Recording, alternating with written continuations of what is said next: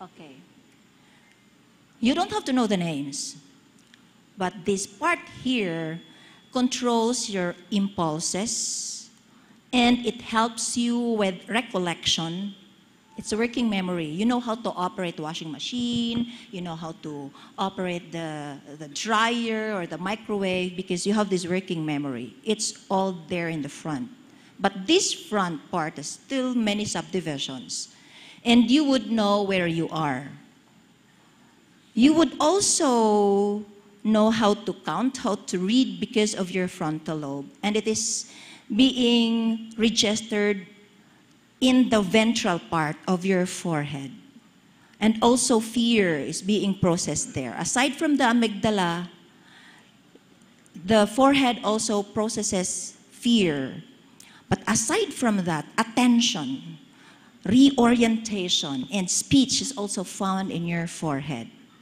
The interrelationship you have with people is also in your forehead. The movement and the sensation. So when all these things come together, scientists saw that Einstein's brain is, has a very, very robust neurons on this part, in the premotor, as well as in the primary motor cortex.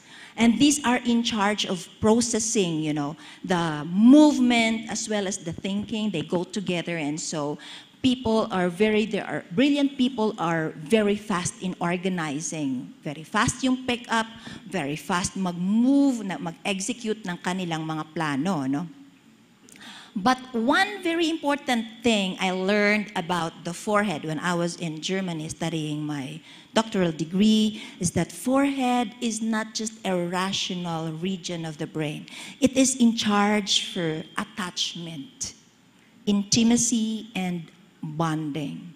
So I love you with, you don't, you don't say, I love you with all my heart. I, you say, I love you with all my forehead. This afternoon, I would like to pose a question.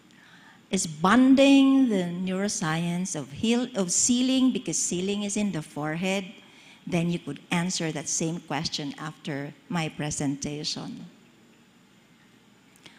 Our learning objective is to understand why sealing is in the forehead from the point of view of neuroscience or neurobiology. So, abangan nyo yan. And you could refute my investigation and my evaluation and my argument, and uh, we could discuss about it, and we will see who wins. So I landed on the lab that studied brain cells. It's very interesting that God hid all his plans from me. I had no basic knowledge about neuroscience. We have no neuroscience subjects in UP Diliman, right? We only have cells. And somatic cells behave far differently from your neurons in the brain. They don't have, although they are connected from one with another, your neurons have this basic component of synapses, which are not found in your somatic cells. They are somatic, meaning cells of the body.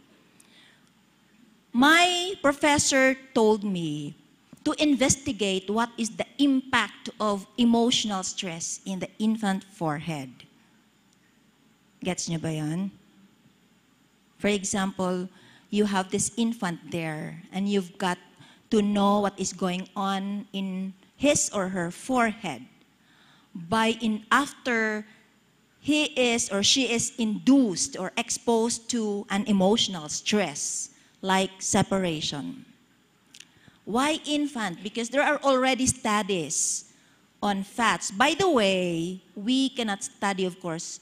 We could not cut you know, uh, brains of human beings while they are still alive, so we use rat models. Previous studies show that when rats are exposed to enriched environment, like they have these levers, they have ladders, they have spinning wheel, then they have bigger neurons, they have robust neurons, they have uh, increased number of neurons and increased, you know, extension of synapses. But when rats, these ones are adult rats, are just left alone, isolated and deprived, you know, of friends and enriched environment, then um, their neurons are not very, very, very well. They are not strong, they were not big, they were not, they don't have extended synapses. Wala akong alam sa brain cells, wala akong alam sa neurons, wala akong alam sa iba't ibang cells in the brain because I studied only cancer cells while I was in Diliman.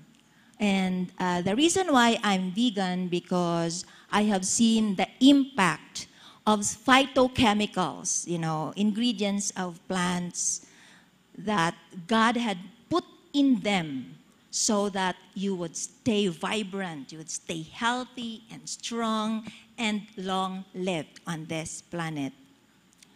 And so I panicked because I don't know much about uh, what I was going to do. And uh, you could just imagine studying from the scratch. And because God called me to do so, then nothing was impossible. So I studied infant rats. You know, one important trick when you are choosing your experimental uh, participants, like Mom uh, Vicky a while ago explained, you've got to know which experimental material you're going to use. In this case, I chose rats that mimic human behaviors like attachment, like uh, good eyesight and good smell. And in this case, I used, you know, the degus or trumpet-tailed rats because they mimic human attachment during infancy. So they mimic both the visual and auditory functions of human infants. When they're born, they could hardly see, but their visual system is already functioning and uh, they, they could hear, you know, the, their mother's voice. What, to make the long story short, I'm gonna show you my findings. So I became a serial killer of rats. Pili lang kayo. Anong klaseng pagpatay ng rats?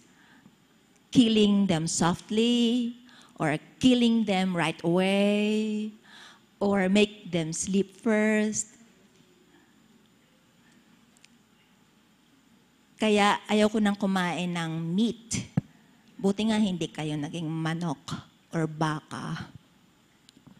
Because uh, I felt bad when I kill my rats every time. But in order for me to graduate and for the cause of science, I had to do it. I learned from my findings that forehead, not other regions in the brain, in the, in the forebrain, is emotional.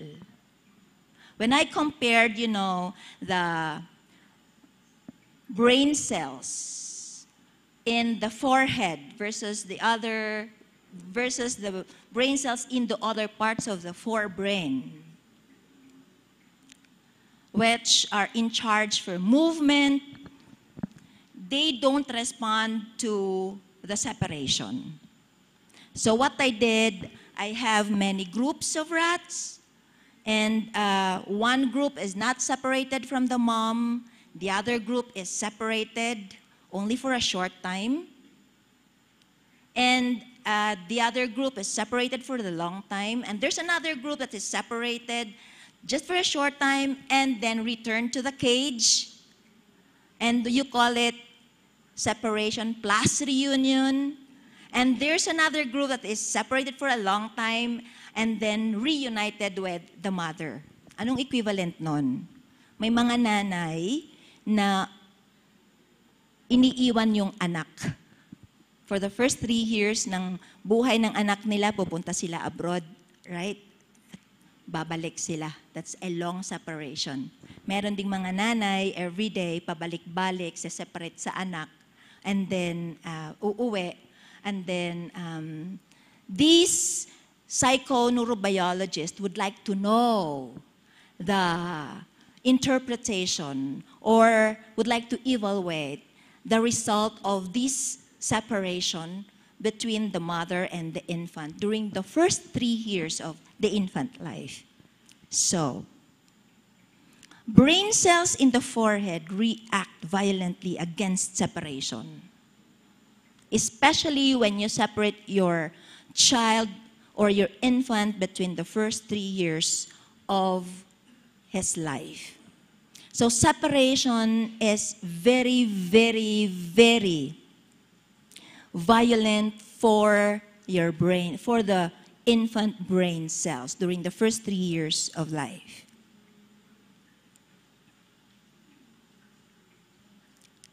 You look at the pictures here, with them meaning this is a representative of hundreds and hundreds of brain cells. In this case, they are astrocytes from the forehead of rats that stayed with mom. Dam means the mother rat.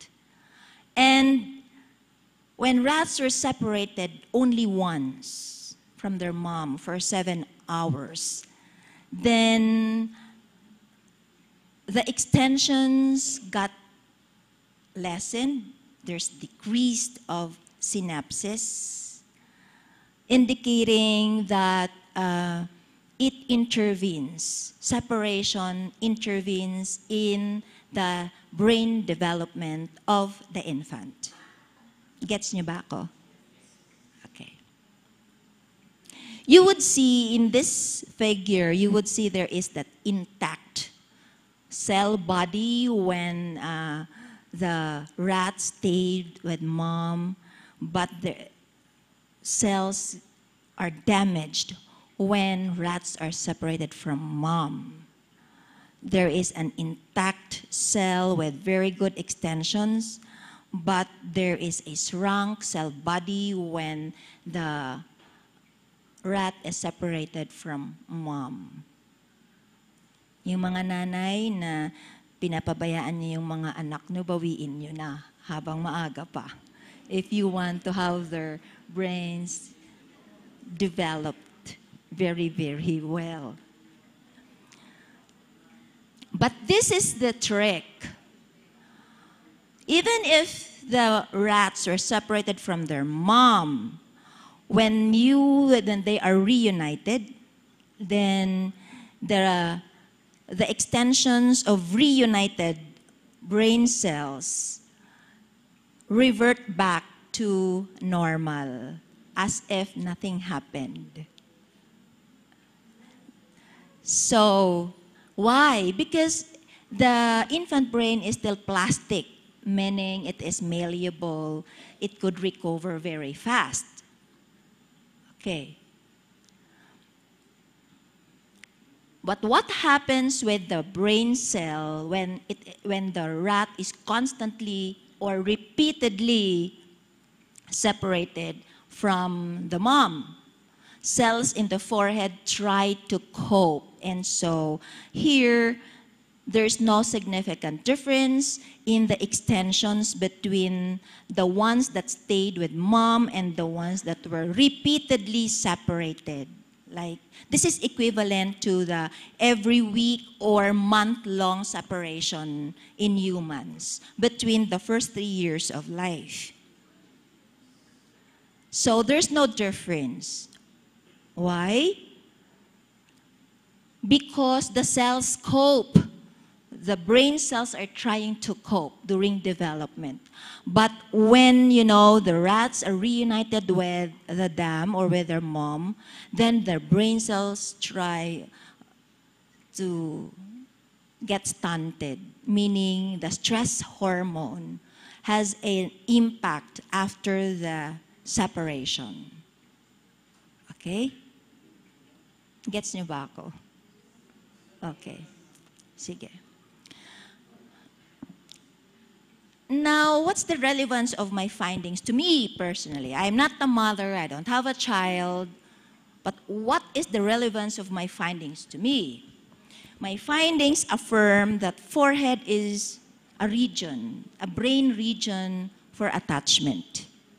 And it reacts badly, violently towards separation. Infants are transparent models of attachment. And it, attachment is located in the forehead. It is a divine, universal implant in the whole universe. In 1950s, Dr. Harlow made an experiment. He's a famous psychologist in his own right. And uh, he observed this principle of attachment on baby monkeys. And so he made two, two mothers. One, a wire mother with a feeding bottle. May gatas yan. And the other one is a terry cloth mother without a feeding bottle. The baby monkeys would just stare at the feeding bottle, indicating na bahala gutom, basta kasama ko nanay ko.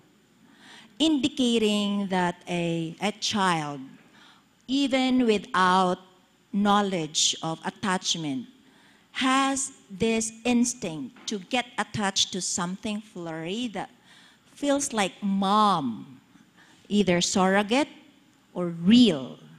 Okay? So that's the universal principle of attachment in the forehead. And this has been, you know, observed in the whole range of animal kingdom. Here is Konrad Lorenz. He's a Nobel laureate, a behaviorist, animal behaviorist. And he studied, he identified how attachment is being done or performed by fowls. Eto na yon. He learned that birds identify the first moving object the day they're hatched. Pag ikaw ang nakita nilang gumagalaw, ikaw yung susundan nila for the rest of their lives.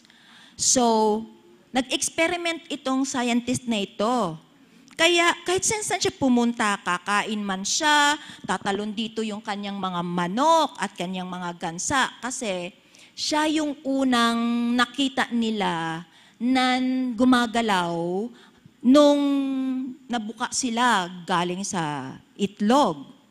And you could look at funny pictures pag nasa nasa river siya, nandoon din yung kanyang mga mga ducks and chickens because to them, siya yung tatay nila. Here, nilagay yung itlog ng bibi doon sa gansa. Kaya akala ng bibi o pato, gansa siya, following the mother gansa. Because attachment is in the brain. Among the ewes, when you're in Europe, you could see vast and vast expanse of lands, parareha yung kulay, mga puti na mga sheep. But how do you know? How do these ewes recognize ito yung nanay nila, yung pala? Ewes identify scent of their own lamb within the first two hours of giving birth. When they miss this, the mother and the ewe the sheep and the ewe will not know each other. And this is equivalent to the first three years of your infant life. That should not be disturbed. Mom and child should go together because if it's going, if it is disturbed, the, your son or your child will just recognize you as parent but without emotional bonding. In rats, ganun din. So, the, the pups relied on the odor and texture of their mother's nipples. Kaya di ba pag mga aso, bagong panganak, dinidilaan nila yung kanilang mga pups. Ang mga rats, dinid, dumidede to know the texture and the smell of the nipples of their mom. And this should be done during the first week of their life. Pag maskip they will be unfamiliar or they will be strangers to each other. Why? Because God implants attachment in the brain. And there are devotion hormones, not just in you, but also in lower animals. So, scientists study about the two kinds of voles. One is very polygamous, solitary, and no maternal care, no paternal care, non territorial, non aggressive, but the other set of prairie vole is very having is very aggressive, very territorial, and they learned that um, the one with high oxytocin, oxytocin is the trust hormone, the attachment hormone between the uh, between spouses, between child and the mother, and the ones with less hormones on devotion, this oxytocin and vasopressin, then they have, you know, an attached personality and they are non colonial, indicating that God is looking after its crea- His creation. He is looking after us and provide everything what we need, even if we don't recognize we need them.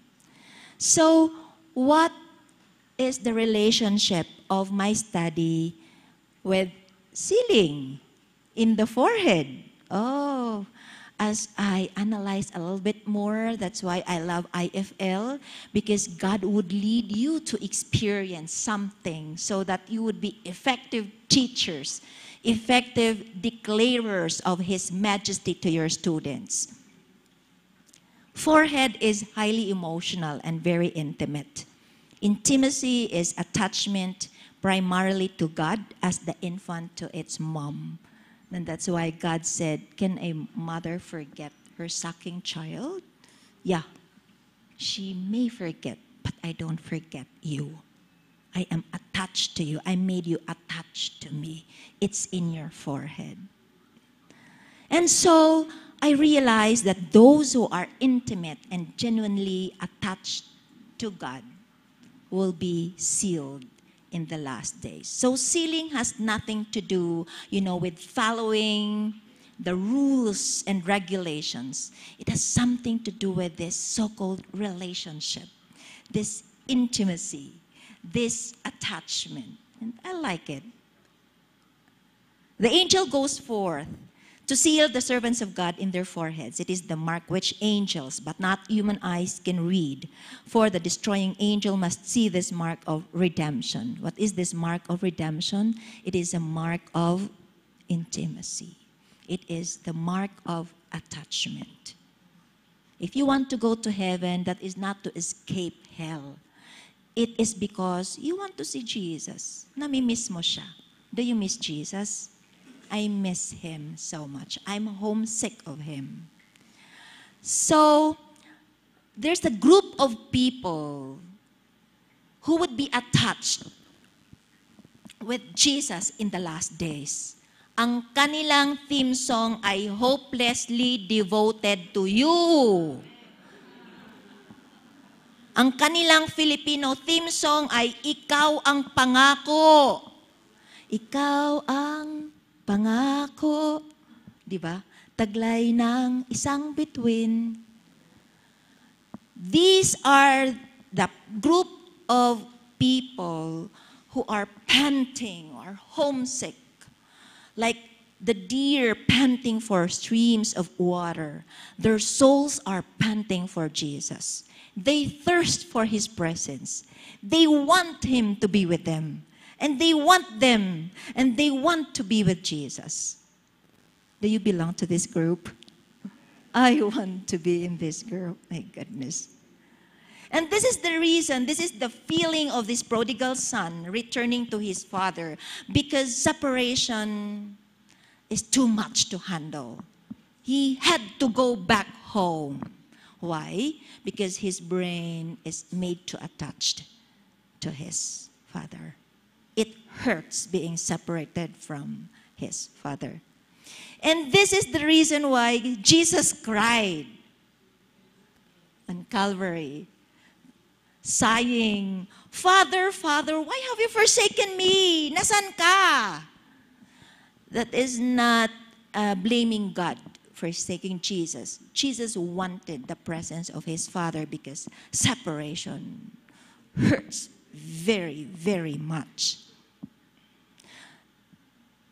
Is separation hurtful to you? There is no divorce in your brain. There is no divorce region in the brain. God is the God of reconciliation and devotion. There is only the region for attachment. But there are also a group of people who do not love God. I don't want to be in this group. The Lord is soon to come. There must be a refining, winnowing process in every church, for there are among us wicked men who do not love God. So, aside from me realizing that my forebrain as the region for attachment and that my relationship with Jesus, my friendship with Him, plays a major role in the sealing, the decision to obey His commandments is just the product of that attachment.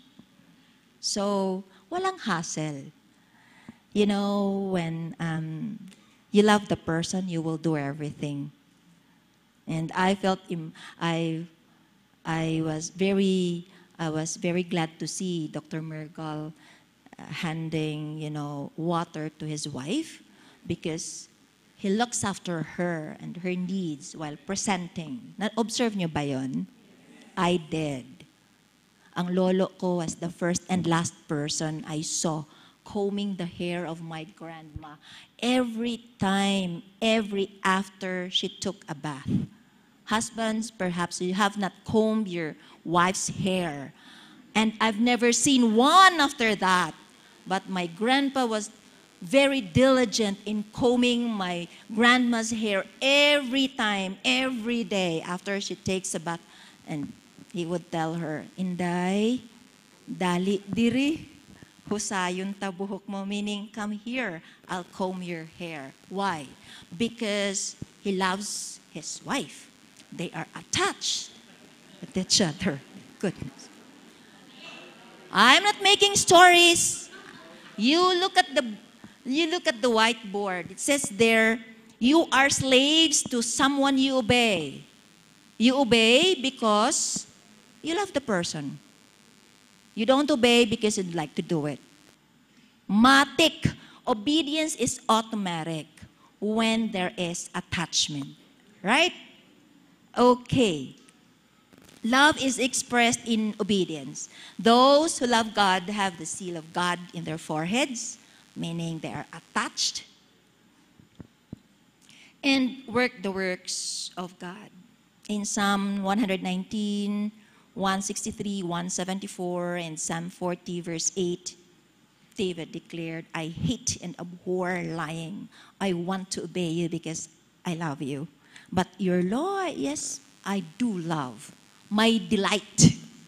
Have you tasted ice cream delight? I remember when I was little, every time there was this dirty ice cream, you know, that would pass by the house of my grandma because she loved me so much. Even if I had too much sugar already, she would always get a penny and buy me ice cream delight. Yung dinil, dinidila, dilaan niyo ba?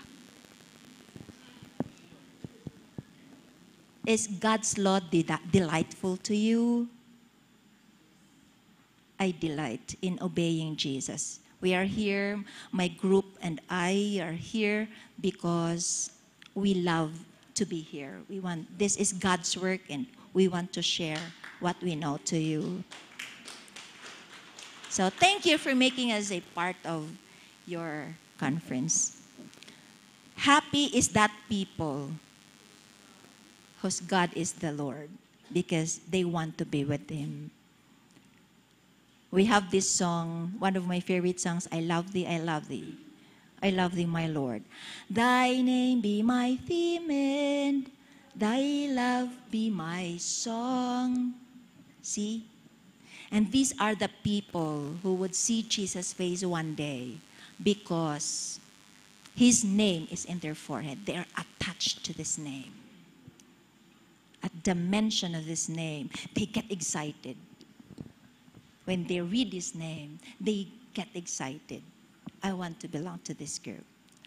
And now, this group of people are practicing looking to him, thinking of him. He will be formed within the hope of glory.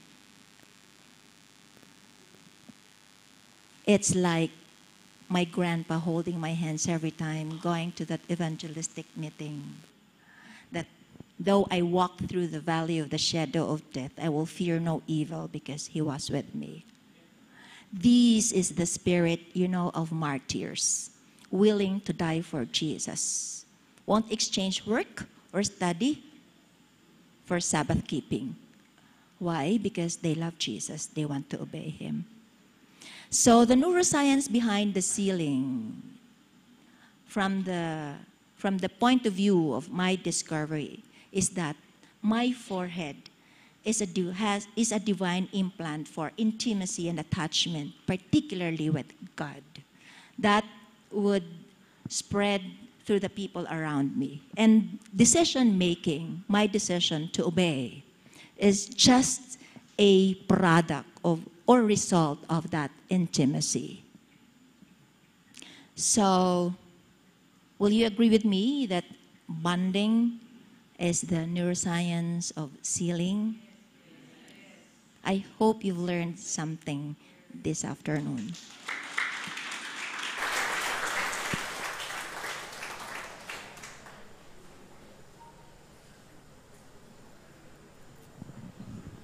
Dr. Rowena, we, uh, we really appreciate your presentation.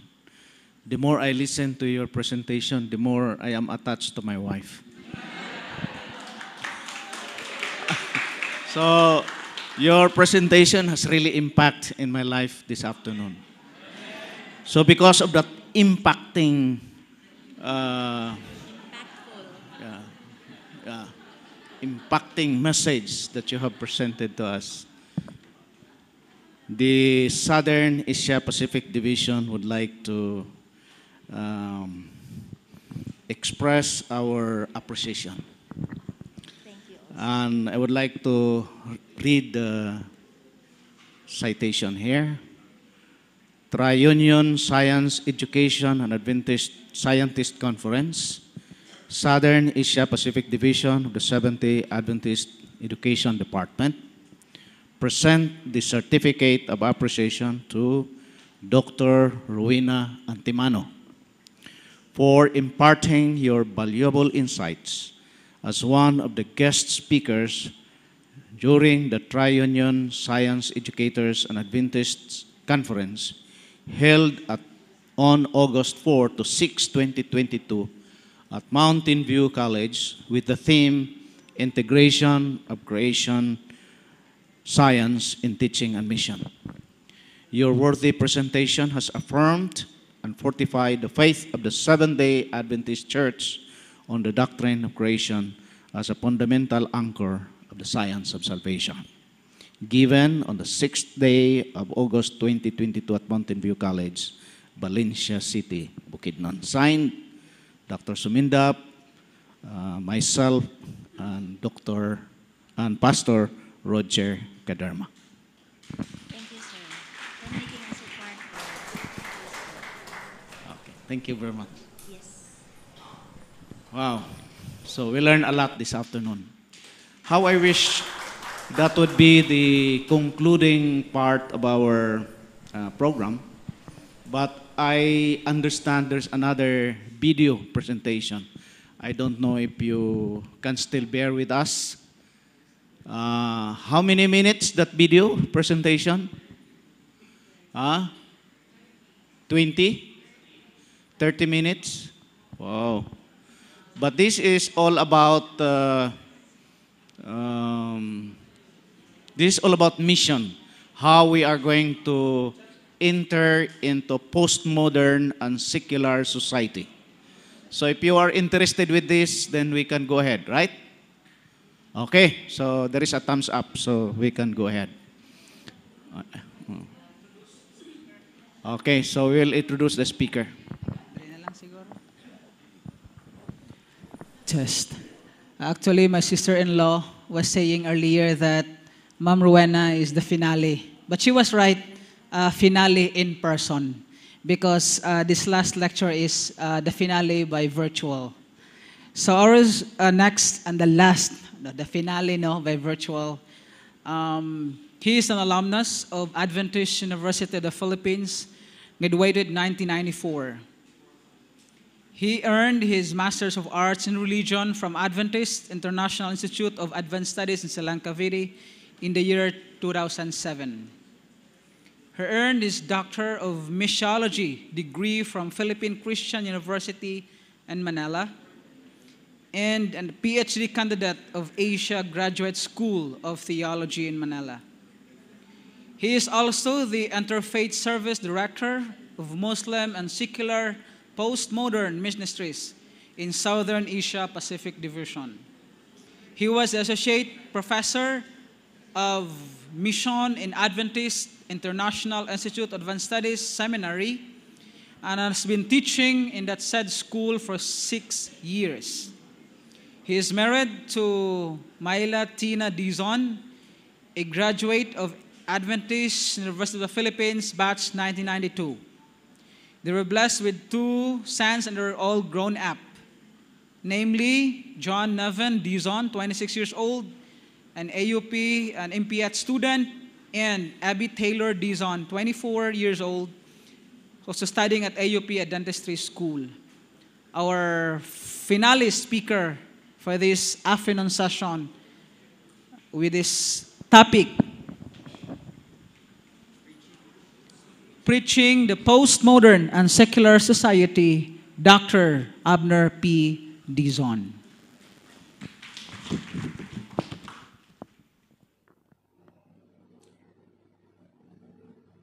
Gandang umaga po sa inyong lahat. Um, binabati ko po kayo mula dito sa West Indonesia Union Mission where I am currently uh, on an itinerary to visit yung mga projects natin sa iba't ibang mga lugar dito. Uh, maraming salamat po, Dr. Margal, for inviting me to share something uh, about how to reach secular people para dito sa inyong Tri-Union Science Educators and Adventist Scientist Conference. Uh, I really wish that I can be there with you right now. Um, it just so happens na nag-overlap yung schedule ng aking pag-visit dito and itong schedule na ibinigay ni Dr. Margal. Uh, nonetheless, we thank the Lord since mga scientists tsaka mga science educators kayo, we really thank the Lord for technology, right? Um, so, uh, uh, there's so much that we can do nowadays with technology. And so I thank the Lord na merong uh, way to record and to share the message kahit na uh, I am very far from where you are right now. So the topic um, that has been um, assigned to me is how to reach secular people or secular community. Uh, let me begin by uh, sharing my screen. Okay. Okay, so ito po ang actually medyo ni-revise ko ang title um, Understanding and Reaching Secular People. Um, it's important to understand them before we begin to try to reach them. And so dito po sa aking hopefully short presentation, I would like to discuss what are the characteristics of secular people. Uh, Philippines, we can call it secularized people. Okay, so let me start with an introduction about the challenge of secular people. Um, all over the world, merong 1.1 billion na mga tao or 16% of the world's population who do not subscribe to any religion at all. Um, according to a, a research group, sabi niya, one in six person globally does not have religious affiliation. And um, the unaffiliated, yun ang tawag sa kanila, o non-religious, is the third largest religious group worldwide. And uh, behind lang siya sa Christians and Muslims. And it's equal to the Catholic population. 1.1 billion people. So that's that's in the in the global setting. Now, sa Philippine context naman, um, do you know, well, uh, maybe all of, mm, all of us know that 92% of the Philippines is uh, subscribed to a Christian religion. 81% sa kanya ay Roman Catholic and 11% are Protestant. Um, 5.6% ng population natin is Muslim and 2% ay traditional religionists. Now, the Philippines is a secular nation in the sense na its constitution guarantees separation of church and state. Uh, the government requires all uh, uh, requires everyone to respect all religious beliefs equally. Of course, nakita natin doon sa uh, inauguration ng presidente ano, na merong limang uh, major religious groups uh, and we praise the Lord na isa ang Seventh-day Adventist Church dun sa nag-represent ng uh, religious community. Um, ang context natin sa Philippines is in spite of the fact na 92% tayo uh, uh, percent Christian, merong estimated na 11 million non-religionists in the Philippines. Uh, ibig sabihin, merong 11 million uh, atheist, secularized people, uh, humanistic, secular people in the Philippines. Um, one uh, Catholic uh, writer says the Philippines is increasingly secular but still deeply Catholic. In fact, Manila is the best example of the secularizing tendency in the Philippines. Um, now, how do we define secular people? Or, how do we describe yung mga secular people? Well, they are disenchanted with religion, or they identify themselves more with non-religious values and institutions. Uh, and for them, life is not centrally focused on religious experience. Hindi yun ang pinaka-importante sa kanila. Also, they may or may not outrightly deny existence of God, but generally they think that humans don't need God. Also, they feel no need to join any religion. And their attitude to Christianity range from indifference to antagonism.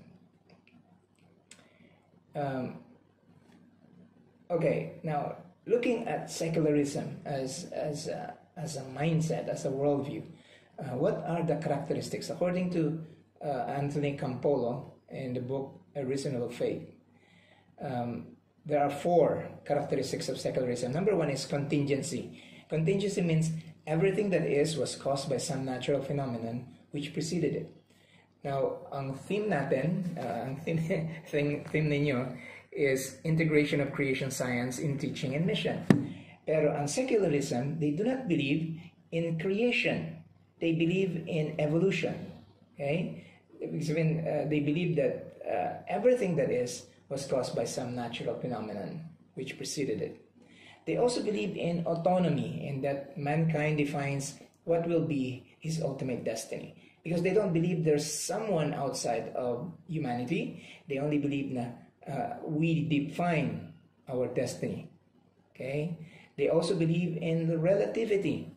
Morality is a relative and depend uh, relative relative thing and depends on historical, social, and cultural context. So what is good for you may not be good for me. What is moral for uh, for that group of people may not be moral for another group of people. So meron silang relativity. And then they believe in temporality. Life is all about the here and the now. They don't think about future. They don't think about what happens when you die. Para sa kanila, life ends now. Or life is only about here and now. And so my tendency, okay, uh, I'll move on um, to that later on. Ngayon, the Philippines started out as a Christian. Uh, okay, well, in the last so we say 400, 300 years or so, 400 years or so, um, Christianity has been very much uh, interwoven uh, in, into our uh, the fabric of our society, and yet more and more Filipinos are becoming secularized. Now, what are the factors contributing to secularization? Um, this is uh, the neo-secularization theory. Uh, the first is existential insecurity. And sabi the greater the insecurity, the more religious people become, uh, uh, the more religious people become. In other words, uh, if there is insecurity, then they turn to God. However, um, when economic, political, and social conditions improve, personal security improves, and religion loses its impact. And that's the reason why many rich people or uh, rich countries or rich communities tend to be less religious because uh, pag may problema sila, they don't need to call on God. They can just use their, their uh, credit card or uh, the, the government can help them and so on and so forth. So, meron security, personal security sila. Existential insecurity produces more uh, religious desire, desire for religion. Second is pluralism. The more ideas a person is exposed to, the more difficult he finds it to be certain that his favorite idea is the right one. In other words, mas marami kang na-encounter na, na views, worldviews, and uh, ideas. It's, it's more difficult to say, I am right, this is the only way, this is the only uh, true religion, and so on and so forth. And so, uh, in many cities, because maraming gal- galing sa iba't ibang mga lugar, in order to maintain, um, let's say, harmony, there needs to be pluralism. And in pluralism, you cannot really believe in just one right idea. And then finally, meron tinatawag na privatization. Uh, everything becomes private. The non-discussion of religion in public uh, leads uh, some uh, people to feel that religion is a private matter. Um, your religion is yours, my religion is mine, and let's not discuss it in public. Okay, so these three things are factors that contributes to secularization. Some people even say that urbanization also uh, leads to secularization. Education, um, you know, you know what? Education usually is a Western uh, model. The one that we are using right now is more Western than uh, than anything, and and Westernization actually has a secularization effect in commun- on communities. Okay, so um, the tendency of secular versus religious. Okay, I would like to compare them. Secular people tend to be, uh, by the way, this is from the United States, but uh, more and more uh, when I compare it with uh, Philippine context, uh, I can see there's there's uh, there's similarities. So the secular, yung mga secular na mga tao, they tend to be male, they tend to be young, they tend to be urban, they tend to be more educated, they tend to be uh, richer, mas mas maraming uh, mas maraming wealth, they tend to be mobile, uh, mas ma madaling maglipat-lipat ng lugar, they tend to be more uh, public, they tend tend to uh, tend to be more uh, industrialized, and ang job nila tend to be more information related. Whereas yung mga religious, they tend to be female, they tend to be older, they tend to live in rural area or at least that mindset is rural. They tend to be less educated or poorer or more stationary, lagi nakastay lang sa isang lugar, more secluded, more agricultural, and more manufacturing related ang kanilang mga jobs. So, um, as you know, the more religious they are, it's easier to evangelize them. In Adventist Church, uh, we are more successful doon sa mga taong religious rather than those who are uh, secular. Um, and and we we need to find a way na how can we balance this na we are able to also reach yung mga secular na mga tao. Um, so, com- i-compare natin ang secularism and Christianity. Sa biblical Christianity, merong mga, okay, there are some themes like prime reality para sa biblical Christianity. The prime, the, uh, yung reality na nag- pinagsimula ng reality is a personal God. Uh, while in humanistic secularism, it's from an inanimate matter uh, and energy. So doon nagsimula. Ang origin of all, sa biblical Christianity, it was created by God. Uh, para sa humanistic secularism, it was cause, it's a cause and effect, it's by chance. Uh, ang nature of man sa biblical Christianity is physical and spiritual and made in God's image. Samantalang sa humanistic secularism, uh, there is a it's a phase in natural evolution. Eventually, it will evolve into something else. Uh, meaning of life para sa biblical Christianity is preparation, service, fulfillment. Uh, whereas sa humanistic secularism, it's uncertain, it's unknown. There's no there's no meaning of life. Um, ang basis ng morality para sa biblical Christianity is eternal character of God. Okay, which is sa atin, we understand it as being embodied in the Ten Commandments. Samantalang sa humanistic secularism, uh, ang basis of morality is yung contemporary mores, yung, the, the, the customs, traditions, uh, depende sa kultura, depende sa setting. Um, man's condition, as far as biblical Christianity is concerned, is sinful and changing. Whereas sa humanistic secularism, it's imperfect and changing then. Uh, para sa biblical Christianity, improvement, paano mag-improve? We need spiritual rebirth, be born again. Uh, sa humanistic secularism, uh, it's through human planning and effort para mag-improve ang race. Uh, for biblical Christianity, death is a parenthesis. In other words, it's not yet the end. There will be another one.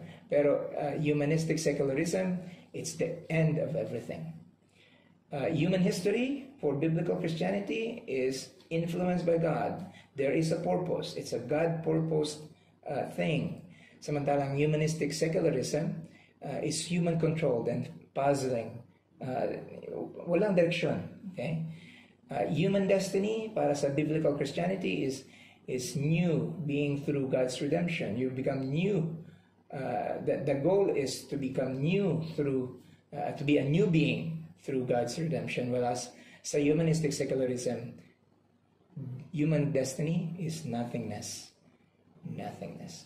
So you can see, um, of course, medyo sabihin natin may bias tayo dito sa biblical Christianity. Uh, pero you can also see some of the challenges of being a humanistic secular person. Okay. Now, what are some some of the main issues if you have a secular worldview, uh, looking at it from a um, Christian perspective? Number one is atheism or non-religion. They don't believe in God. There is no God. Okay, for them. Number two is yung pluralism uh, all roads go to heaven or none at all, something like that. Ano? Uh, and then contingency, uh, yung concept ng uh, evolution, concept na what, what we have now comes from something. And it, it usually is about uh, not, not God, not supernatural. And then temporality, uh, issue dito is yung hedonism. Yung bang uh, enjoy life because tomorrow will die. Um, our life is just about now. Uh, you only live once. YOLO. You've heard of that. Y O L O. You only live once.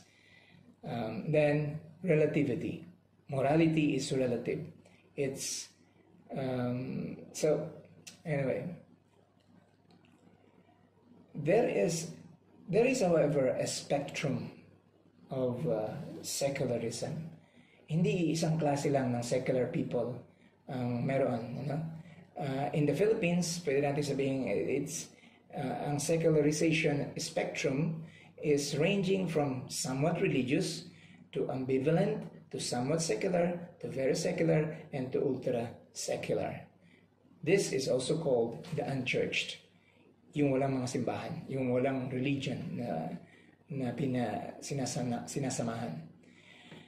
Now, there was a um, an author or, a researcher who has categorized this whole unchurched or sa atin ngayon tawag natin the secularized And na- na-identify niya five kinds of uh, unchurch, five kinds of people who don't believe in a religion, or at least they don't join religion. Yung from U1, meaning unchurched, U2, U3, U4, and U5. Yung U1, um, actually, the this is how it was, uh, kung paano niya na-identify ito, na? Ang question that was asked is, what was your, what is your attitude towards the, towards the church, the Christian church? Yung U1, uh, 11% sa kanila is very friendly. Yung U2, uh, 27% sa kanila ay friendly to the church. Yung U3 are neutral, 36%. Yung U4 is resistant, 21%. At yung U5, antagonistic to the church. This is um, it, shows you kung i-divide natin, ang U1 represents 11% of all unchurched o kaya of all secular people. Ang U2 is 27% of all secular people. Ang U3 ay 36% of all secular people. Ang U4 ay 21%. And then U5, yung totally antagonistic, is 5%.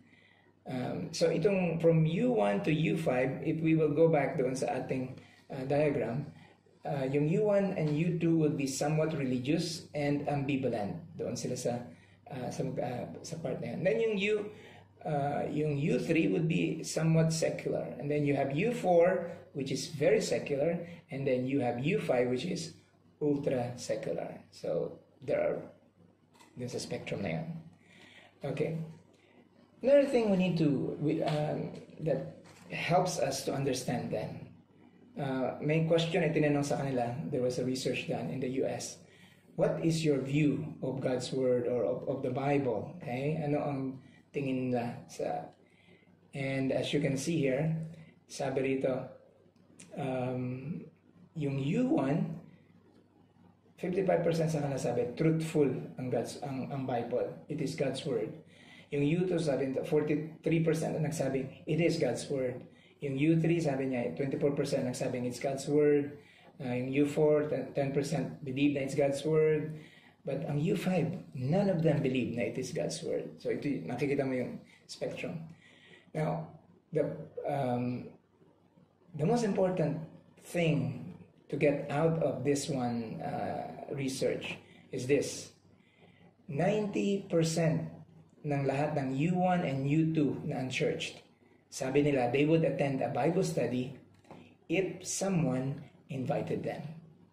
Because uh, sabi nga nito ang U1, U2 50, 43 to 55% sa naniniwala the Bible is God's word. There's truth in it. Uh, or at least there's some truth in it. So um, the, the good news is, sabi nga, 9 out of 10, kung iimbitahan natin na mag-Bible study, mag-attend ng isang Bible study, they will attend. They will attend. so, remember that, okay? Itong information na ito. Because at the end, I will share with you five things that you can do to reach secular people. Okay, another question na tinanong sa kanila. Uh, would you come to church if somebody invited you? Okay, ang sabi rito, nakita natin, ang U1, U2, very likely, 56% ang U1. Ang U2, 46%, very likely. Um, then as you go down uh, uh, sa U3, U4, U5, you can see nagiging smaller yung likelihood na they will come to church if you invite them. Um, again, there's the summary. The summary is that more than 8 out of 10 of all unchurched, sabi nila they would come if someone invited them. Again, that's 80% of ng lahat ng mga walang simbahan, lahat ng walang reliyon, they would come if someone invited them. So it's key. The key is let's invite them. Let's invite them for a Bible study, to attend an evangelistic series. Let's invite them to church. Um, hopefully yung church nyo will be friendly to them. But let's invite them. Okay, now, what are the needs of secular people? And this is very important to remember. Um, okay, number one need is belongingness. They want to feel they belong to, to a group. They want to believe, uh, to feel they belong to something worthy uh, to be part of. And then authenticity. They like to deal with people who are real. Hindi pwedeng nakikipag-kaibigan lang tayo sa kanila para uh, because gusto natin maging Adventist sila. We need, they need to see authenticity sa atin. Yung, yung pagiging totoo. Okay? They also uh, are looking for a sense of worth and purpose. They, they, pag nakita nila na isang Adventist has a sense of purpose and a sense of worth, uh, they are attracted to that. Also, they need something or someone to trust. So, uh, if you're if you're a person that is trustworthy, then they will be attracted. If the church pastor is trustworthy, if the elders are trustworthy, then ma-attract nila itong mga secular na mga tao uh, once they are invited. And then they're looking for cer- certainty uh, against the doubts that they they have. You know, ang mga secular na mga tao usually exposed sila sa postmodernism. Ang postmodernism, it questions everything. Uh, there's no such thing as right or wrong. There's no such thing as uh, objective truth. Uh, so they are always uncertain. And they need to find certainty in the midst of uncertainty. And finally, they're looking for hope beyond this life. Kasi empty ang life. Uh, katulad ng sinasabi ni, ni, ni Solomon, vanity, vanity. After you have experienced all of this, um, na-experience mo na ang, ang pleasure, na-experience mo na ang, uh, ang power, na, na ang, ang, wealth, then what? They need hope beyond this life. And they are looking for people who, who, who can show na meron silang hope beyond this life. Okay, so in closing, how do we reach secularized Filipinos? Uh, let me suggest five things you can do, which in itself ay maraming mga pwede pang uh, magawa. The first one is find points of contact or common interest. Katulad ninyo, you are scientists, uh, educators. So, look for something that they uh, that you share with them yung common interest kung physics kung uh, algebra or um, whatever whatever point of interest yun yung doon kayo mag-maximize um, and that's what you can talk about that's what you can uh, for starters and then number two is invite invite them or involve them in worthy activities. Remember, they're looking for a sense of purpose. Yung public service, community service, uh, even sports or mga tours. Meron tayong mga example niyan dito sa Metro Manila na uh, they organize tours. Punta sila, nag-hiking sila, nagpunta sila sa Banawi Rice Terraces, pero meron din silang service na gagawin doon. Uh, so, involve them in worthy activities. Gumawa kayo ng mga uh, mga public service, community service na magagawa ng ninyo together with them. Uh, wag lang po, eh, of course, you need to have Adventists with them para they, they get in touch with Adventists while doing the worthy activities. Uh, kumbaga, we want them, uh, gusto nating mahawa sila sa mga Seventh-day Adventists uh, as they do those things. Number three, create a community. Uh, very big sila dito sa word na community. Uh, sa atin, we call it care group, okay? Pero uh, let there be a community or care group uh, around common interest and and public service or some kind of service na magagawa for for uh, for people. So it's this is uh, marami sa mga uh, secular people, they're not just interested in serving themselves or receiving care from other people. They also want to care for others. And so develop that community. It doesn't have to be in the church building.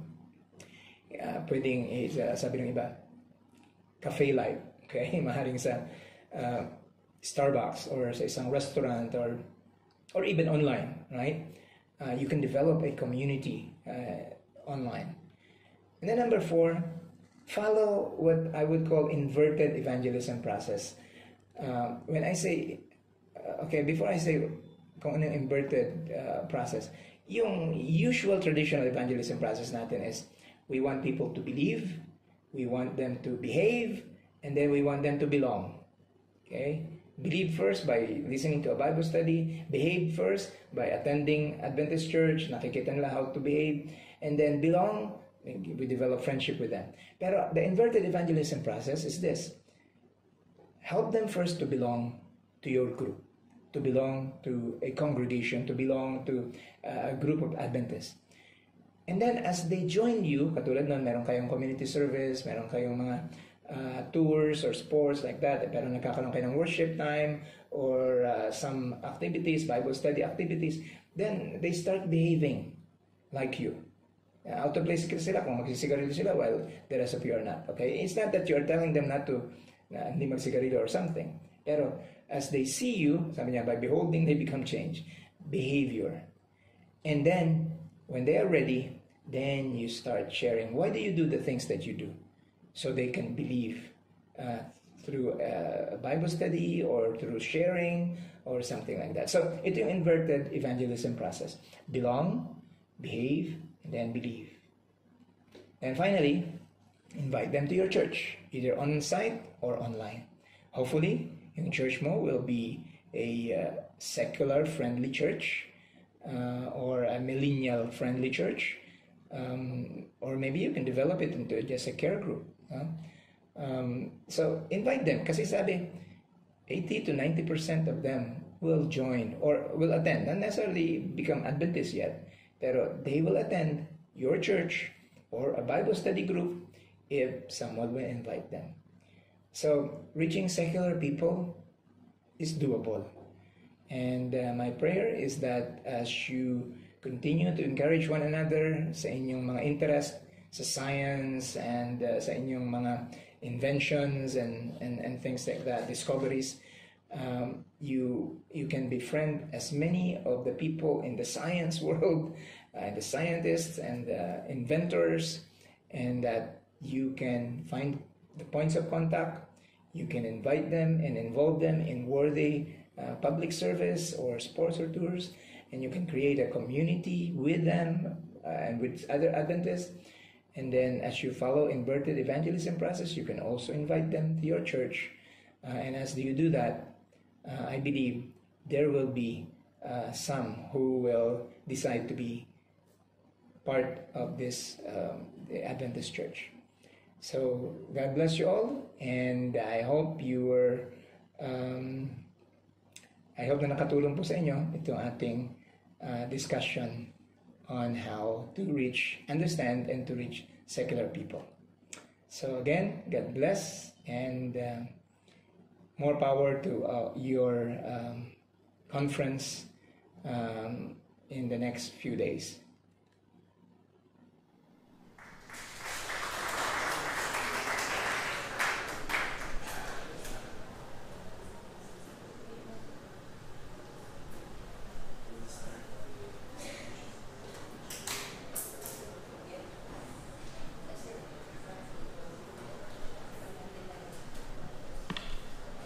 Okay, good afternoon, everyone. We are so happy and grateful that uh, uh, our program is uh, successful. So I'm requesting those who are still outside to please come inside now.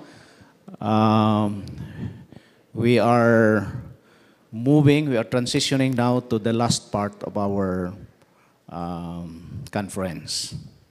But before uh, going into the commitment service, we would like to um, recognize some people who have contributed to the progress and the success of our uh, seminar. So I would like to invite uh, Dr. Brian to please come forward. Yeah. I know you are preparing your commitment message. Okay, so we will distribute to you the first, the uh, certificate of participation. But we will not be distributing this individually because it will take time. So what we did, we just put them in one union, and uh, we will the we will just be calling the uh, education director of the union or conference to come forward and then just kindly distribute that uh, this uh, certificate to your uh, educators or science educators who are here. So, I would like to start uh, recognizing and appreciating the was this the education directors of the union for your effort. I know it's not easy to uh, what's this uh, inviting people. You know, it was just a short uh, time. I think it's only about one month and a half because uh, we did not really uh, plan for this. Only that we see some extra budget, so I said maybe we can do something.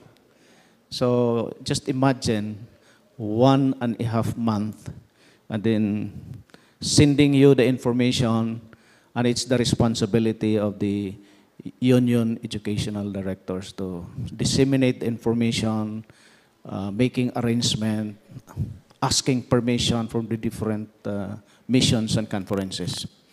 So I would like to thank the Northern or North Philippine Union Conference. Okay, so I'm requesting the Education Director, Ma'am Sabat, Dr. Sabat, thank you very much. We really appreciate your coming. I know it's a challenge coming over, but you have come. So thank you, thank you very much.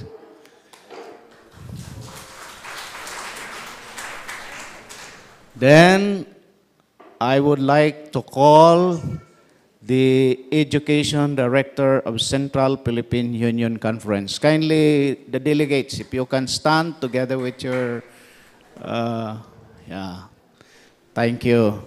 Thank you very much. Dr. Limuel Banday. Salamat yun kayo. Okay. Salamat. The last but not the least is South Philippine Union Conference. Oh, kindly, you can stand while uh, Dr. Pido uh, comes. Thank you very much. Salamat kayo. Okay, now I would like to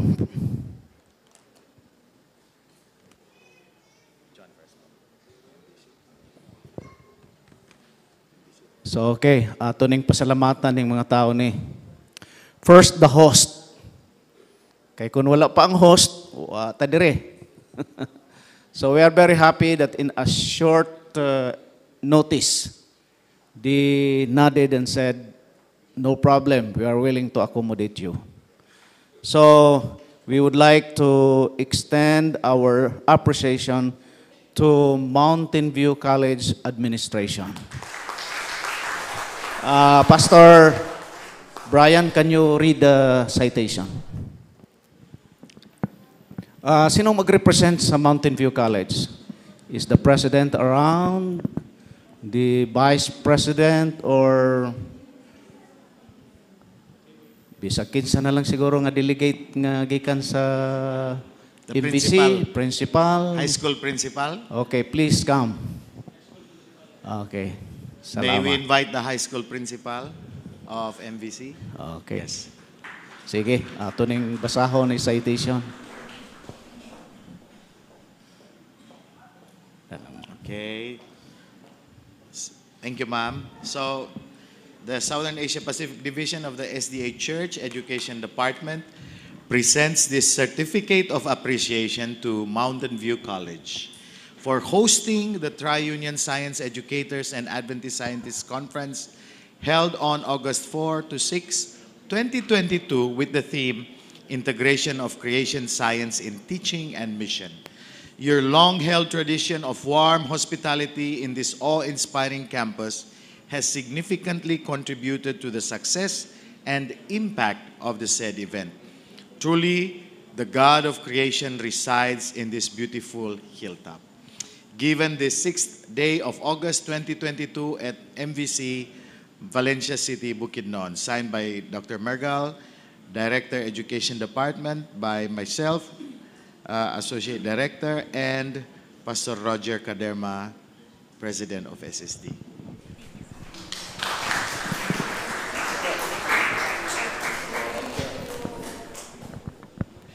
Okay. Um, we have two special people nga di gid namo makalimtan. Why? Because as I have mentioned, in a short time, they responded. Kasi we are always traveling. We have no time to plan. We have no time to arrange with uh, Mountain View College administration. Unya, budget, so on and so forth. So, we are really very grateful to these people. So, at this juncture, I would like to call on Mr. or Dr. Romy Lamputi, the Associate Education Director of uh, South Philippine Union Conference. I tell you, I really appreciate this man. Kung mo anhin mi din hi sa no sa sa SPUC, kanunay gyud mi sugaton ni niya and then he will serve as our driver. I tell you, I really salute the servant attitude of this guy. Thank you. Um, Sir Romy, please accept this certificate from the SSD Education Department given on the sixth day of August 2022 at MVC for your dedicated and untiring service in making the conduct of the Tri-Union Science Educators and Adventist Science Conference, Scientists Conference a success and fitting offering to the Master Teacher. Your passion for serving the educative ministry is always evident in your leadership and commitment to excellence. Please accept this, signed by Dr. Mergal and I and Pastor Roger Cadero.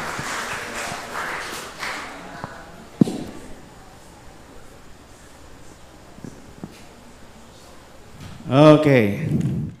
Now, another important person. The Education Director of South Philippine Union Conference. I tell you, she was the one who made the budget. She was the one who made the arrangement. And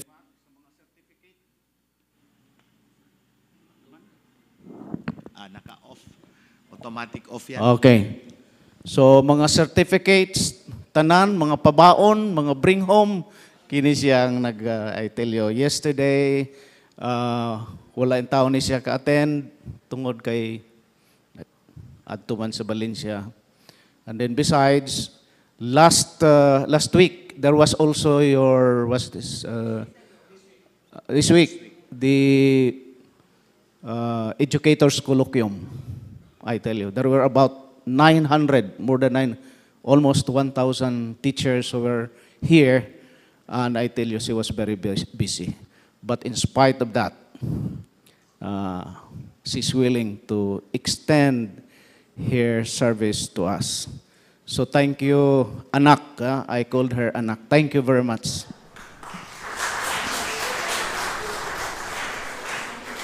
Thank you.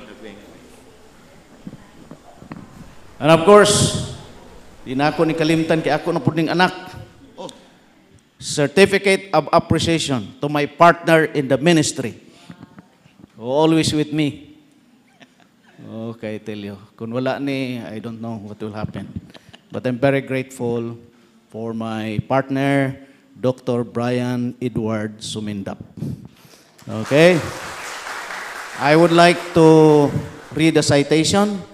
Certificate of Appreciation to Dr. Brian Subinda for imparting your valuable insights as one of the guest speakers during the Tri-Union Science Educators and Adventist Scientist Convention held on August 4 to 6, 2022 at Mountain View College with the theme Integration of Creation Science in Teaching. Signed, Dr. Mergal and uh, Pastor Caderma. So thank you, Nak, ha? Okay. So don't worry. Pag uli mo may may durian.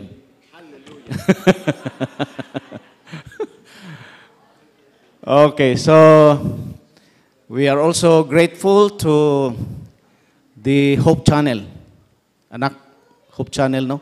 They really help us. So, and then the Mountain View College media team. Uh, thank you very much. Let us give a big, big hand to them. And also the media department there who helped me for two nights. They were there up to 12 o'clock just to be with me during the GRI meeting. They really sacrificed for me. So thank you very much. Okay, and of course, I would like to express my thanks to my two secretaries, our two secretaries, Faith and uh, Mrs. Asoy, Mrs. Pastrana. Thank you very much. Thank you, thank you very much for your help. And of course, the Philippine Association of Adventist uh, Scientists. They are still here. Ah, sila, ang iba sa ila to sa back. Can you stand, uh, PAS? Oh, wow. With the leadership of Dr. Oclarit, who is the president. Sir, thank you very much. You you are the powerhouse of this uh, conference because most of the presenters were coming from the PAS. My wife is also a member of PAS. So, I think about 90% of the presenters were coming from the PAS. So thank you, thank you very much, uh, PAS.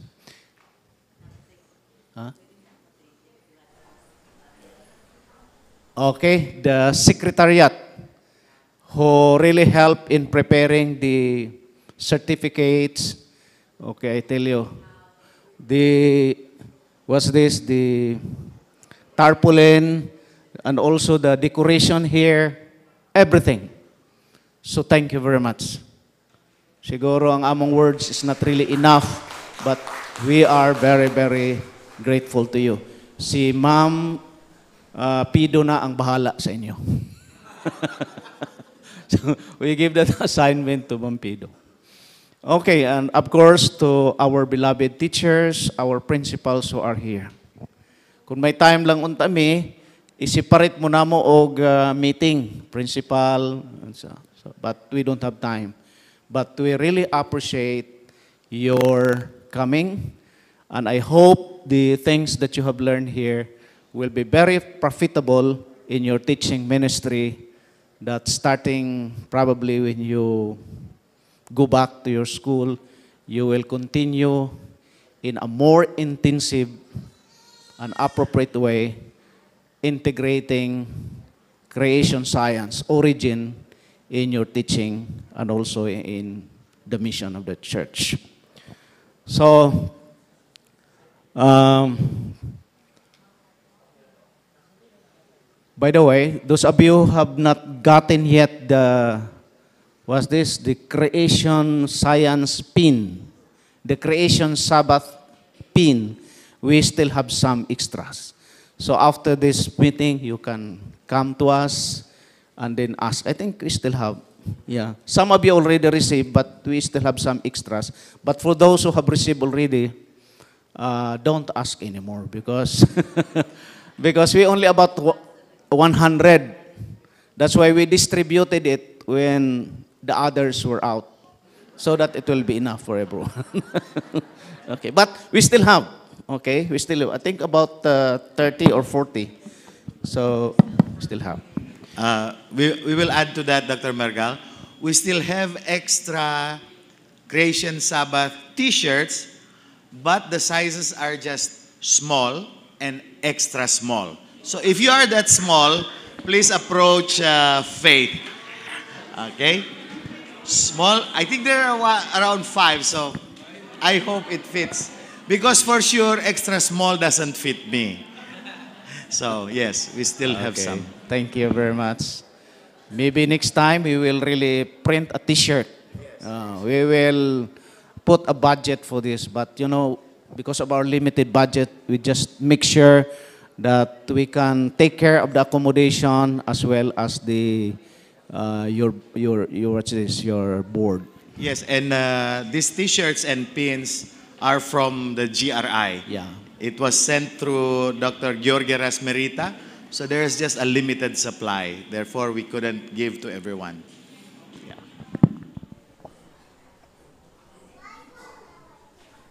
Uh, by the way, we have this book, Design and catastrophe. Scientists explore evidence in nature. So, gi-assign na mo ni, we are assigning this to the different colleges. So, for your library, so kung may library, uh, kung naa din ang librarian, kindly get one for your library. And then we still have some extra. Then we can give this to the different uh, to the different academies. So, ang principal nga ni Adinhe, pwede ka mo makakuha para sa inyong para sa uh, library ninyo. Okay? So you can get one for your academy. Okay? So I don't know if this will be enough, but tell us if it's not enough, then we can make an order so that every library will have should have a copy of this. This is a very important document. Okay. Uh, Please do not be very happy yet because we only have a very few extras. Yeah. But for sure, we will try to provide for Yeah. each academies. Yes. Okay, so I think that's all. We are happy for your participation. We are looking forward to have another one next year because uh, I proposed to the Geoscience Research Institute that this will be yearly program that they will come visit us personally. And then by 2024, we are planning to have uh, division-wide uh, Science Educators Conference in Thailand. And it is, yeah, so that's our target. I have presented that to the GRI already, that 2024, before my retirement, before my retirement, we can have our uh, division-wide uh, uh, science educators uh, convention. So let's look forward, let's pray that somehow the Lord sustain us, we will be able to realize this one. Well, uh, from here, of course, we will be separating our ways. Uh, we will also be traveling at about 4 o'clock, going back to Manila. We will not go home anymore. We will proceed to Indonesia. And when we go back, we will go back on the 18th of August because we also have to visit the colleges there for accreditation. So we will be meeting na sa September siguro. so thank you very much. Pray for us. We'll be praying for you. Let's pray for one another for this travel. But I am not so worried about that because my wife is with me. Eh, Dr. Brian, problema kay walay asawa. Uh, bili na yung asawa. But in going to these colleges, I have planned that my wife should be with me, and I'm very happy that I am not guilty of the lecture that was presented this afternoon. okay, Dr. Rowena, it's a challenge for you also. Okay. Dr. Mergal, before we proceed uh, with our commitment service, we just need to uh, remind you that tonight our dinner is at the Florence Kern Auditorium. Okay? So do not go to the cafeteria because there's no food for you there. Let's proceed there. The food will be available by 7. So we still have time for the closing program. So it's like a fellowship uh, meal. Banquet. It's a Okay. banquet. So don't miss this uh, opportunity. This is a way of fellowshipping ourselves, knowing each other. I think the food is not really that important. What is important is before we segregate or separate with one another, we have that fellowship. But you will not regret if you will go there. There is durian, there are fruits, and so on and so forth. Okay. So again, thank you very much. We are ready now to proceed to our uh, commitment service.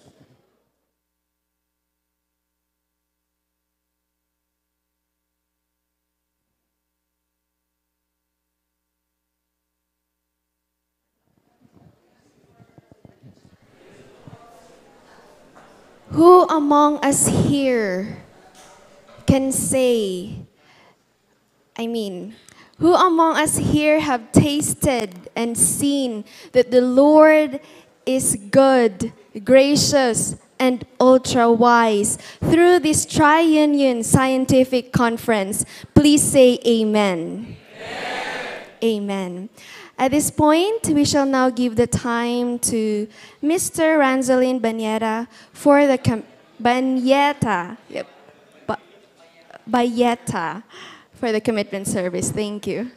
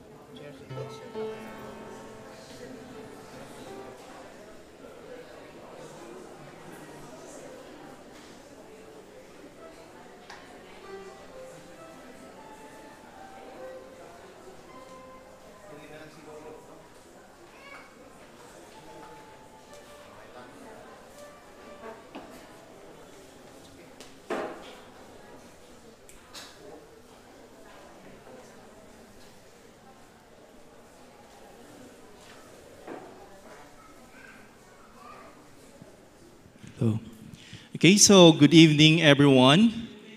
We are now coming to an end in this three-day tri-union science educators and Adventist scientists conference.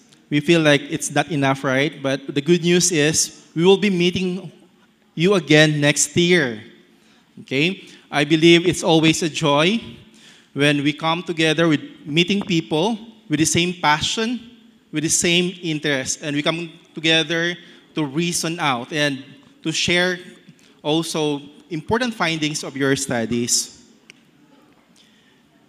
If I have to, to summarize and to look for the common denominator of all the presentations, one dominant theme is God exists.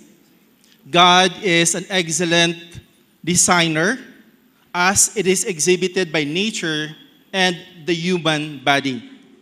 And also through this conference, we are united as we are reminded as science educators and scientists that we have this solemn vow that through science we could lead our students and people to a living relationship with their God. Allow me to, to read the, the sequence of our service. By the way, we are now coming to a commitment service, and a commitment service is a sacred service. This is the time that once again we will be recommitted to the mission that God appointed to us. After my part, we will be singing our opening hymn, and the, on, the invocation will be offered by Mom Mimosa Sarong. Our special music will be offered by the ACA Melody, and these are the MVCA Choir.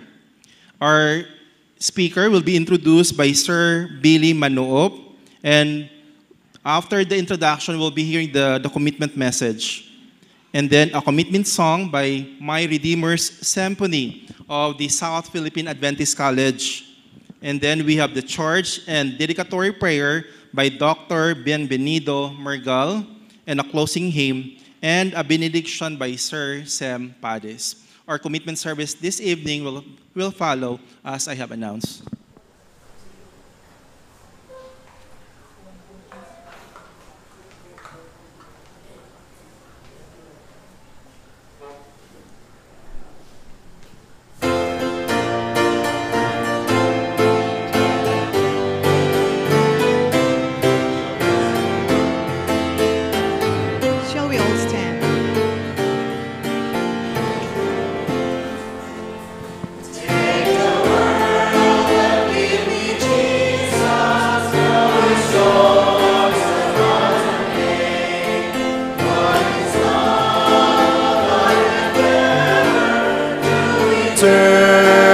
Years the same.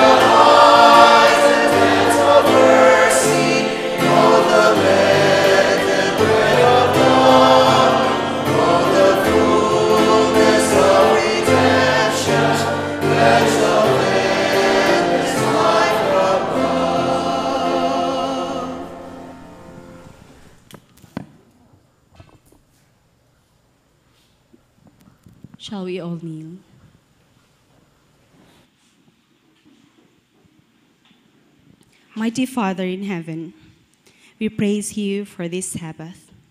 We praise you for preserving our lives until this very moment. We praise your dear Heavenly Father for all the inspiring messages that we have heard all throughout the Sabbath. Dear God, thank you for the opportunity of bringing us here to attend this special event, the Tri Union Science Educators and Adventist Scientists Conference. We thank you for our leaders in the SSD who have initiated this conference. We thank you as well for all the inputs that have been shared to us by these knowledgeable lecturers and scientists all throughout this event. Indeed, you are the magnificent God who have created this vast universe and everything in it, including our lives. Help us, dear Heavenly Father, to get a touch with you, that we may be able to have an intimate relationship with you. Father, we are about to end this meeting, but before we will conclude, we would like to commit our lives unto you, acknowledging that you are the source of all, including the wisdom that we needed each day, as we continue to serve you as educators in your vineyard. Bless the participants, as well to our dear speaker, Dr. Brian Sumendap. May you will empower him with your Holy Spirit. Make him as your mouthpiece at his hour, that we will be more inspired and be more committed in serving you in your different institutions. It is our sincere prayer that you will continually use us for your glory. Thank you for forgiving all our sins and for listening this humble request. In their Jesus' name we pray. Amen.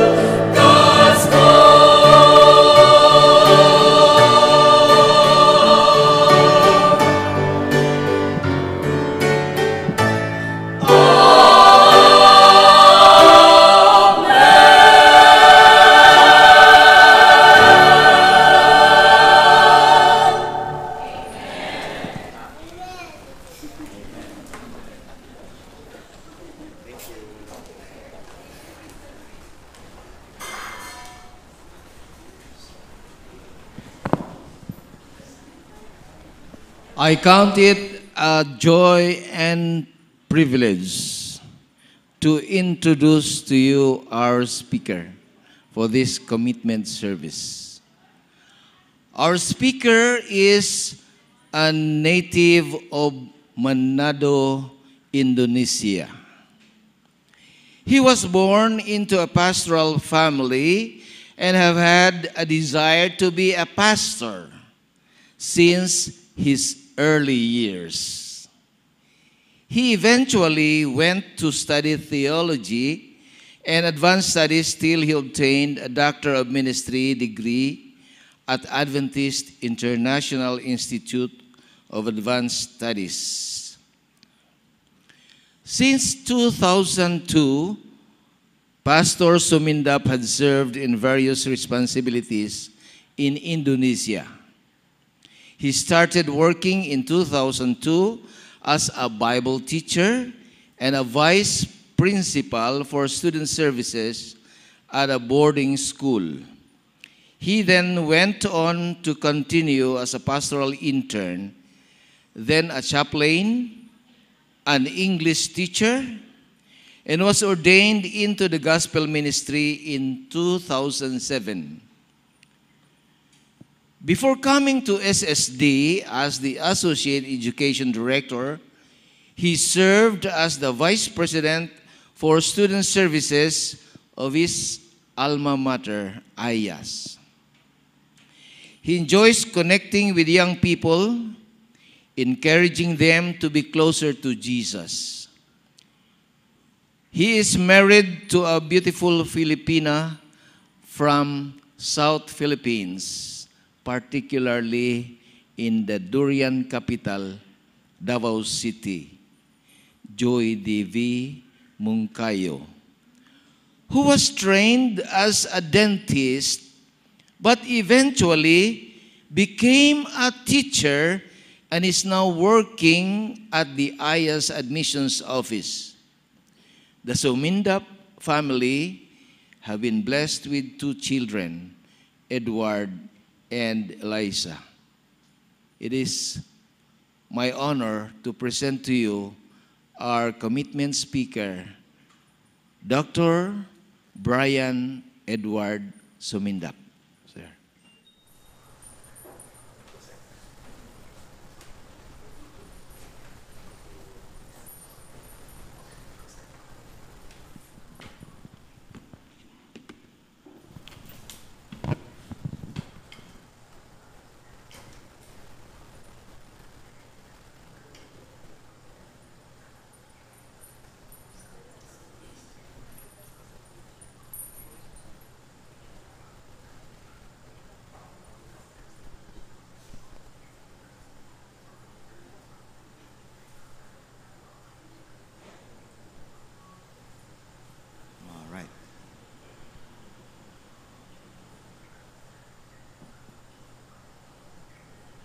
Good evening, ladies and gentlemen, distinguished uh, teachers and scientists, Adventist scientists. You know, as we end our meetings for the for the con- for the conference, part of me feels that uh, we need to listen more. But on the other hand, part of me says also we we need to rest for a while and start again next year. Nevertheless, the presentations has been a blessing for me personally. I, for one, is I am not really interested in science because when I was in high school, you know, I my principal at that time wanted me to be a doctor. But unfortunately, my biology teacher, as we were going to the uh, grade eight for specialization, gave me a five, which is a failing grade for biology. So I hated the teacher and I didn't want to have anything to do with science anymore. But through the lectures that I that I followed and listened to, indeed, it had sparked again my interest in science. So thank you very much. It has been a blessing for me, and I believe it has been a blessing for each one of us. I've entitled our um, okay. I've entitled our uh, devotional talk this evening, "The Kind of Men and Women That God Needs." You know, when we talk about the theory of evolution, uh, Charles Darwin's theory is described as new as this that this theory believes that new species arise naturally by a process of evolution rather than having been created forever immutable by God. So there have been questions asked about the theory of evolution. But even Darwin admitted that this work was incomplete. Vast questions were still unanswered, and the biggest question was how? How did evolution take place? However, by 1950, acceptance of Darwin's theory of evolution by natural selection was universal among biologists, and the synthetic theory had become widely adopted. But then, what are those questions about the theory of evolution? Uh, what is evolution, of course? What is macroevolution versus mi- microevolution? What is operational science versus origin science? What are assumptions and thought systems? Has macroevolution been observed? Are there many any credible tra- tra- transitional fossils? Did life original originate from non-life by science? Is evolution a proven theory? So, in spite of the fact that it is popular, it is being uh, accepted by many scientists, there are still questions about it. And so the, the Bible, the science and creation, is what we, we have been talking about, right? Throughout the past two days. And George Javor, in an article, Life and Evidence for Creation, says this Thinking about life's origin, we can walk on one of two mutually exclusive paths. Life on earth could have been created by an extraterrestrial creator, or it could have come into existence by a fortunate interplay of nature's forces. You know, scientists, at their best, when they study repeatable phenomena, will find that there are no solar system forming before our eyes. Even worse, we also do not see any natural forces producing living organism from solely non-living matter. Yet, millions of different life forms that we see around us had to originate somewhere. And that is the reason why we have this kind of conferences to uh, to strengthen our understanding and to be encouraged to continue trusting on creation and to continue sharing this with our students, whether they're in high school or in university. There was a survey done by the Gallup survey organization. They found out that 40% of US adults ascribe strictly to a creationist view of human origin. So this is interesting. This 40% of adults, they believe that God created them in their present form within roughly the past 10,000 years. However, Gallup says, more Americans continue to think that humans evolved over millions of years, either with God's guidance or increasingly without God's involvement at all. So th- there are now people who believe that the solution to evolution would be theistic evolution. Theistic evolution believes that God used processes of evolution to create implies at least believing an account of origins at odds with the biblical record of history. It also implies introducing the presence of death before sin, or at least defining death in different ways before sin and after sin. So, for some Christians, they think that this is the best way to solve the problem of evolution. However, this does not go, go well with what the Bible teaches. And so, the challenge for us now is can Christians teach science and remain faithful to their beliefs? Of course, you will immediately say, Of course, Pastor, we can. But you know, some people, they are convinced, yeah?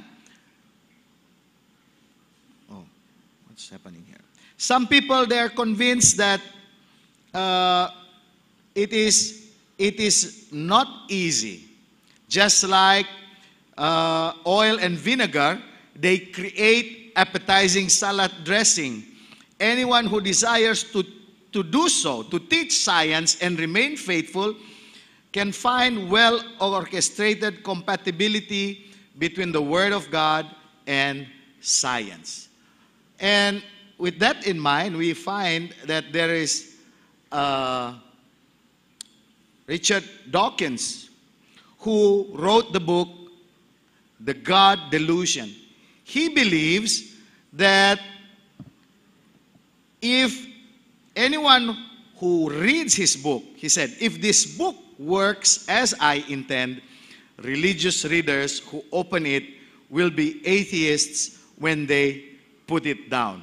So he contends that science and religion is incompatible. So, what then do we do as Christian scientists, as Adventist scientists and science teachers? I want us to take a look at what Apostle Paul charged Timothy with. Apostle Paul charged Timothy in 1 Timothy 2, verse 2. He said this And the things you have heard me say in the presence of many witnesses, entrust to reliable people who will also be qualified to teach others. In this charge, we find that God is leading Timothy through Apostle Paul to be propagating the truth, the gospel, through teaching, and that they will be teaching others, and therefore there forms a continuous cycle of learning and teaching. And I think this is a very effective method and an adequate method. But it only works when we find the right kind of men and women. That's the title of our devotional. So, let us try to consider the kind of men and women that God needs. First, I want to propose that God needs faithful men and women. Faithful men and women who are faithful to the Lord. Hebrews 3, verse 2 says, He was faithful to the one who appointed him, just as Moses was faithful in all God's house. Moses was faithful to God. Therefore, we should be men and women who are faithful to God, just as Apostle Paul was counted faithful. 1 Timothy 1, verse 12 says, I thank Christ Jesus, Jesus Christ, our Lord, who has given me strength, that he considered me trustworthy, appointing me to his service. So, my dear colleagues, teachers, scientists, we need to be faithful to the Lord. Secondly, God needs faithful men and women who are faithful to God's word, to the word. Again, in 2 Timothy 1, verse 13, Apostle Paul is saying, What you heard from me, keep as the pattern of sound teaching with faith and love in Christ Jesus. So, as we teach, as we look at scientific data, as we share it with others, we need to let it coincide with the truth, the Bible truth.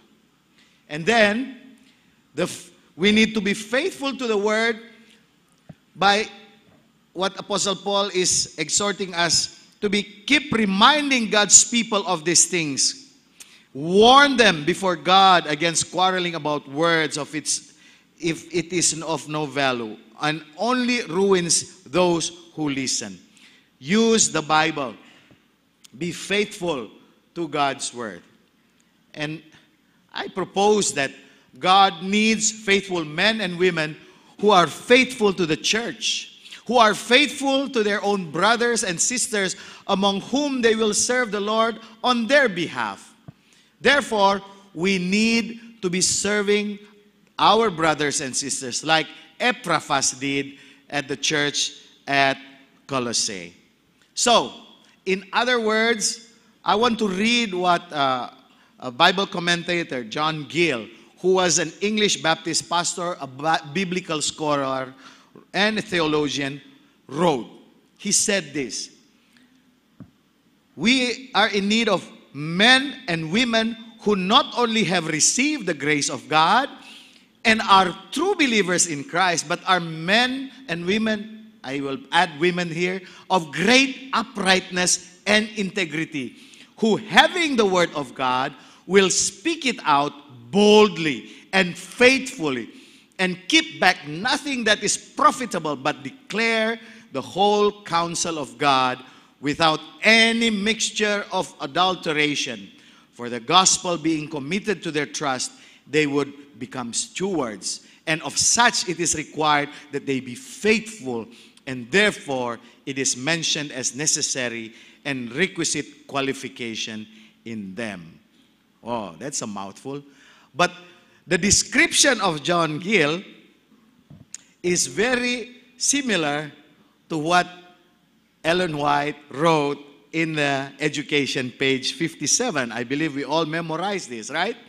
The greatest need of the world is the want of men, men who will not be bought or sold, men who in their inmost souls are true and honest, men who do not fear to call sin by its right name, men whose conscience is as true to duty as the needle to the pole, men who will stand for the right though the heavens fall. Wow. You know, we also find that Mrs. White not just say, uh, said that this is an important thing, need, which is an important need, but she also added in several places that our greatest need, not only are these men and women, but these when, men and women described here who will have the Holy Spirit present in their lives. She said that the greatest need is the presence of Holy Spirit in our lives. She also said that the revival of true godliness among us is the greatest and most urgent of all our needs. So there are three things that Mrs. White emphasized as an urgent need for us this time. Men and women who are described here and the, rev- uh, the revival of true godliness and the presence of the Holy Spirit among us. Let's continue to see uh, the needs, the person that God needs. God, I want to propose to you, needs teachable men and women. Men and women who are willing to be taught by others, right?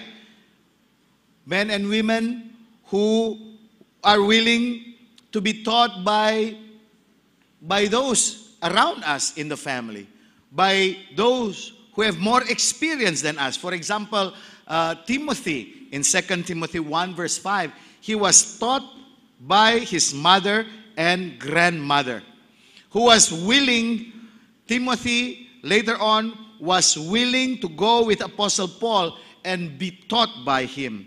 So, the point here is that God needs teachable men and women who are willing to be students first, then teachers. And then, God needs teachable men and women who are willing to be taught by themselves. What does it mean to be taught by themselves? That we need to study, to study the Bible before we study anything else, so that we are sure, through the help of the Holy Spirit, that the truths, the science that we study, will be compatible with what the Bible is teaching us. And then we, the third thing that I want to see is that I want to propose is that God needs teaching men and women. Willing to teach other men and women. Apostle Paul says in 1 Corinthians 4:27, "For this reason I have sent to you Timothy, my son, whom I love, who is faithful in the Lord, and he will remind you of my way of life in Christ Jesus, which agrees with what I teach everywhere in every church." God needs teaching men and women who are willing to teach according to their abilities. In fact, 1 Corinthians 12, verse 29, Apostle, Paul says, Are all apostles? Are all prophets? Are all teachers? Do all do miracle works? We need to be teaching according to our specialties and our specialization. And so, I would like to also propose that Adventist scientists and science teachers, they will have these characteristics. The first characteristic that I would like to propose is that you are teachers and scientists who are pressing toward the goal. Philippians 3:13 and 14 says, "Brethren, I do not count myself to have apprehended, but one thing I do, forgetting those things which are behind and reaching forward to those things which are ahead, I press toward the goal for the prize of the upward call of God in Christ Jesus. And I believe the goal of Adventist scientists and Adventist uh, and science teachers is to uphold creationism.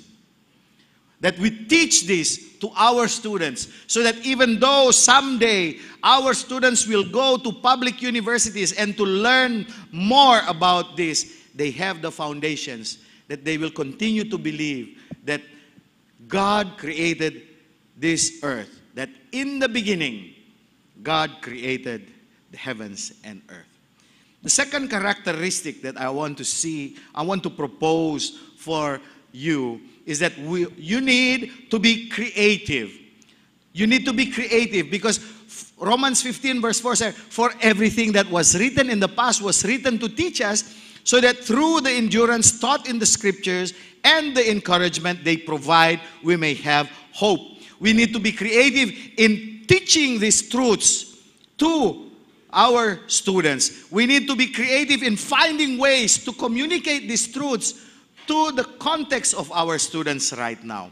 Make it interesting so they will love what you are teaching them. And Edward de Bono, Edward de Bono says this There is no doubt that creativity is the most important human resources of all. Without creativity, there would be no progress, and we would be forever repeating the same patterns. So, be, be creative. And finally, be committed. Scientists and science teachers. Teacher commitment has been recognized as one of the most critical factors in effective teaching. Committed teachers, according to Hariri and Suminotono, They are characterized by four qualities that they have a desire to be good teachers, they are being more fact purveyors and sources, they are recognizing and accepting individual worth and meeting professional responsibilities. But I want to also propose that we are committed to the Lord, not just to our profession, but we are committed to the Lord. Commit to the Lord whatever you do, and He will establish your plans. In another passage in the Old Testament, 1 Kings 8, verse 61 says, And may your hearts be fully committed to the Lord our God, to live by His decrees and obey His commands at this time. Commitment to God is necessary. As I look to God's creation, as I look to God's creation, I found out that parakeets are social animals that feel lonely and sad when they have no company. And it is one of the most faithful animals to their partner. They need a partner alongside in their cage so that they can be happy.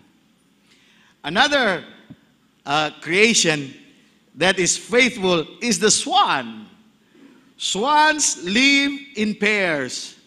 In the winter months, in the cold months, they are known to already be in heat. And when they meet a potential partner, swans swim near one another and perform special neck movements. They form long term relationships with their partner, and even after death, they never seek another partner again. Committed. Sana all. and then we find the owl. Owls are faithful birds, and they remain monogamous to their partner, not only during the breeding season, but all year round. They work together in the care and feeding of their young.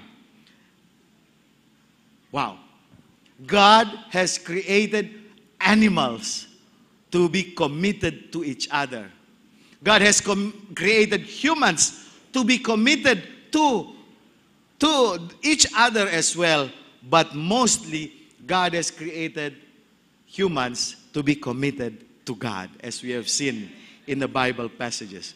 And there is one thing uh, interesting that Mrs. White writes about commitment. Mrs. White says this I am instructed that every believer must watch unto prayer lest he fail in the Christian life battle. Every soul must daily seek the Lord with full purpose of heart, morning, noon, and night, and let the mind dwell upon the Word of God to understand His requirements. This Day with God, page 128. Commitment will happen if we seek the Lord with full purpose of heart. And I believe that when we are committed to God, it is not God that will benefit from that relationship, right? It is us who will benefit from that relationship. And I find that true with parasite commensalism. Right? Parasite commensalism is a symbiotic relationship in which one species benefit while the other species is not affected. Parasitism is a symbiotic relationship which the parasite benefits while the host is harmed. In many ways, sometimes we, our actions harm God. But we are encouraged, nevertheless, commit our lives to Him. But God is good. He has created the examples of His creation, animals to, to be committed to one another. And even in the example of a parasite, He has, he has created the pattern of commitment, even though the host will not benefit. You know, if we make a commitment, even if God will not benefit, God is willing to accept us. right, to accept us.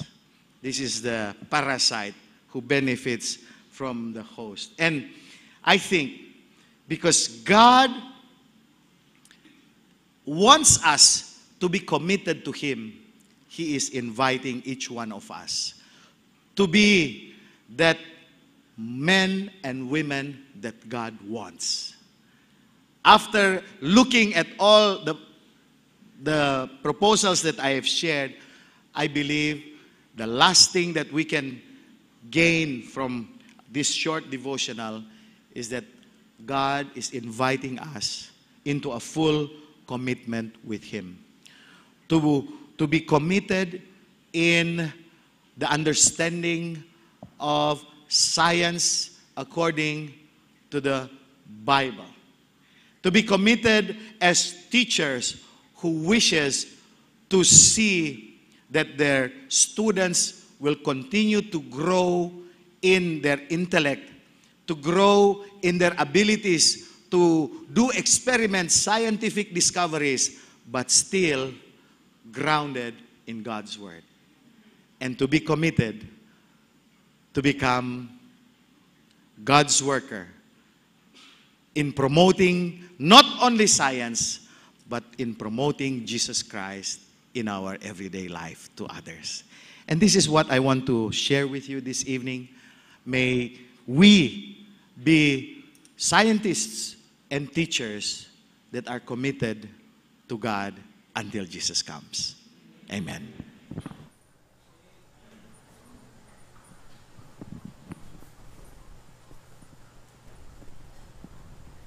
Thank you, Dr. Brian, for reminding us this evening about the most significant commitment that we need to have with our Lord and Savior Jesus Christ.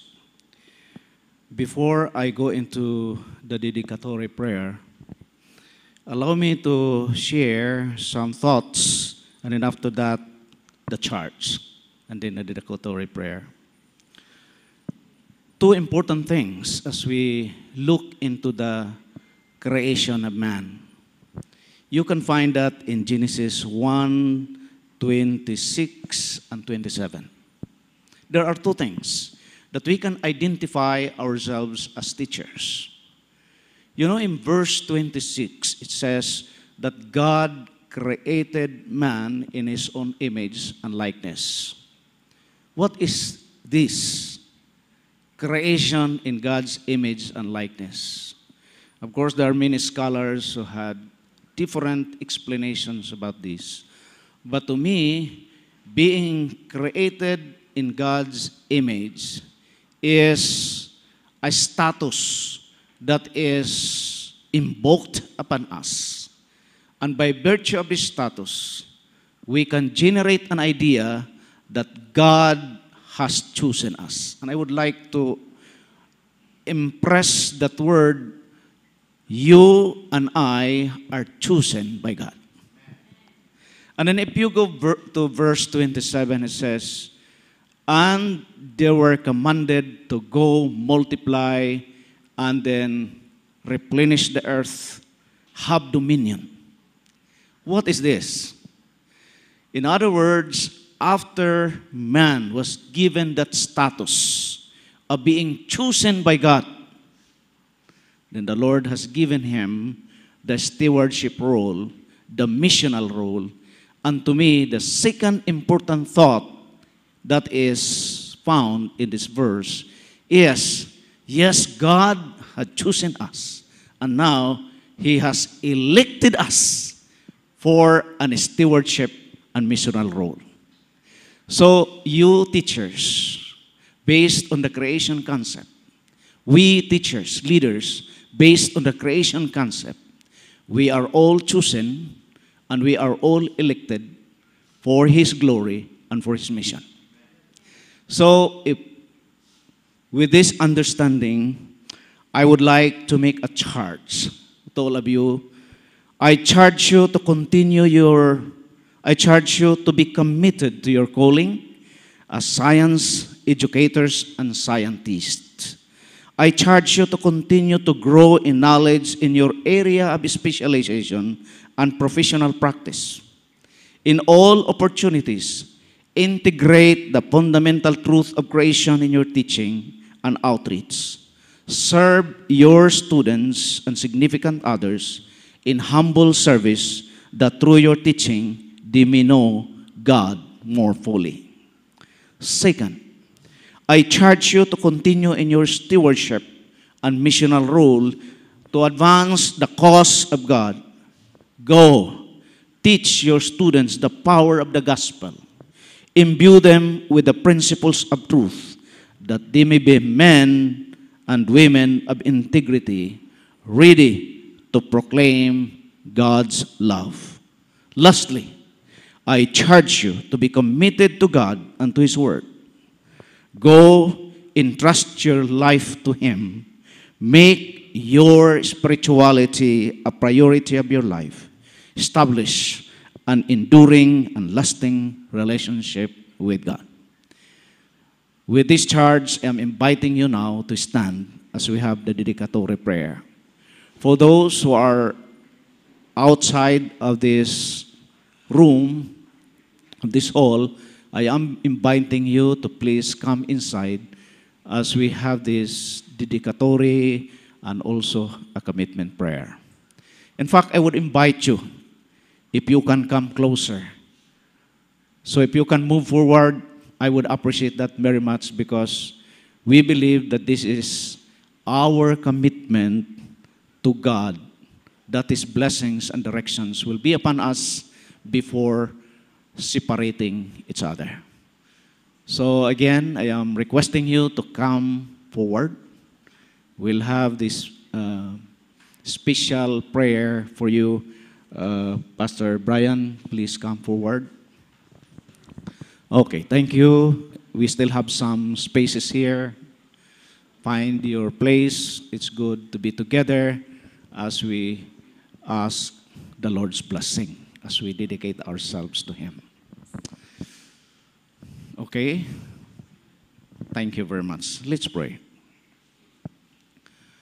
Most gracious and loving Heavenly Father,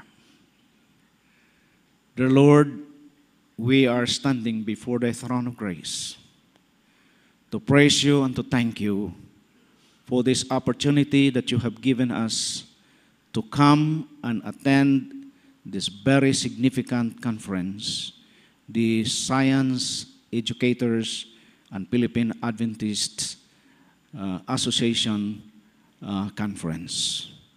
Loving Heavenly Father, thank you for the direction that you have given to the organizers as well as those who have assisted in the preparation.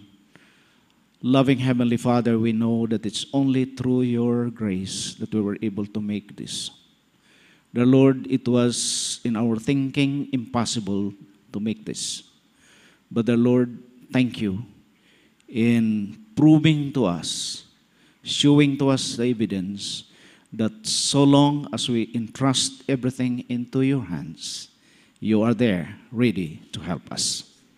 Loving Heavenly Father, this evening, here are the dedicated education leaders, teachers, scientists who have come to hone their learning, to participate, to involve themselves.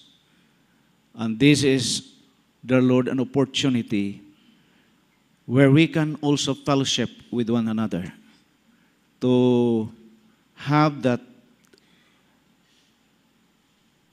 relationship with one another so that, dear Lord, we can be inspired as we join our hands in the finishing of your word. So, loving Father, now they are standing before you. In a special way, we would like to pray for them. Lord, yes, they have this expertise, they have the training, they have the experience. But the Lord, we know that these things are just nothing unless, Lord, you bless this. So, Lord, I pray that your special blessings be upon the expertise of our people. Bless them, Lord, as they continue to serve their students. Lord, help them to develop, help them to uh, make this uh, gift that you have given to them be a blessing, not only to our schools, but also to others. Loving Heavenly Father, sustain them with the things that they need materially. Dear Lord, we are in this pandemic time. We are confronted with a lot of challenge, particularly when it comes to the finance of the school. But the Lord, we entrust this thing into your hand. We know that you will not leave us. Yes, we are living in a stormy times, but Lord, you have remind us, reminded us never to entertain a doubt of your leading because we are a special people chosen. We are special people elected for your cause. So, loving Father, kindly bless them, help them. And I also pray, dear Lord, that you will sustain them with good health and strength. Dear Lord, they may, be have, they may have some challenges when it comes to their health. Lord, I pray that your uh, presence, your sustenance, your guidance will be upon them. Lord, take care of them. Especially, Lord, uh, some of them will be leaving tonight and tomorrow. Lord, kindly be with them as they travel. Protect them, Lord, from any accident. Help them that they may be able to arrive their home safely. Loving Father, I pray that you will continue to bless them when it comes to the- their teaching. The Lord, they have challenges when it comes to the content of their teaching, the relationship with their students, and how to integrate this important truth in their lesson plans, in their modules. But we just pray, dear Lord, that through your Holy Spirit, you will guide them. Dear Lord, we pray that you will also teach us lessons in life, that you will never detach us from pains and problems, because it is only through these things, Lord, that we become closer to you, that we prove our faith to you, that we can come to you in totality. But, the Lord, help us that when we are confronted with these challenges, you will also assure us with your leading and care, so that, dear Lord, as we witness all these things, then we will see how good you are in our life. Loving Heavenly Father, we be with our family members, immediate family uh, members. Kindly, Lord, help them too. They are our inspiration as we serve you. Kindly sustain them with your grace. Help them so that, their Lord, they can continue also to support the word. Lord, we are living in the last days. The challenge is before us. We are chosen.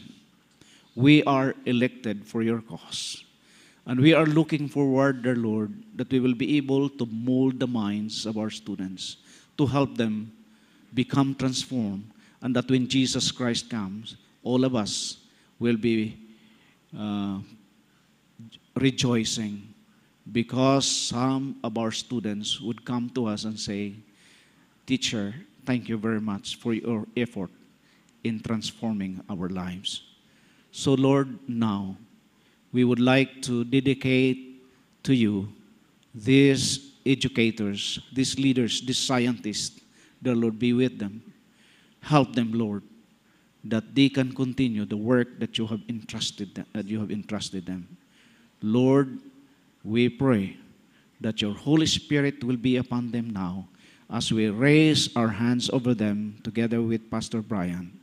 Lord, as we raise our hands over them, this is a gesture of our humble pleading that your blessings be upon us, that you will sustain us through, that you will forgive us, that you will help us be successful in the work you have entrusted to us.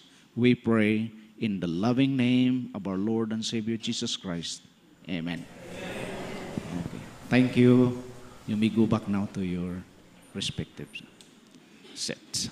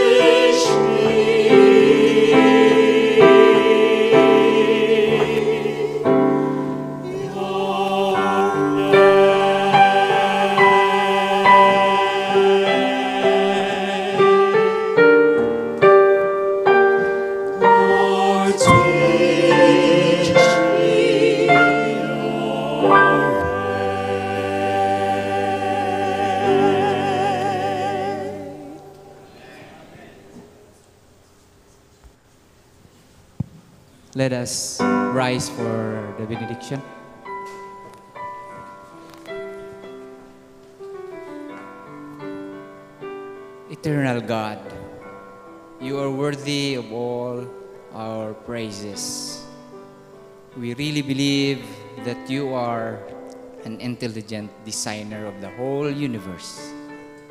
And we have clearer, clearer view of your character because of the presentations we have learned. Dismiss us now with your blessings to the power of the Holy Spirit till eternity. In Jesus' name, amen.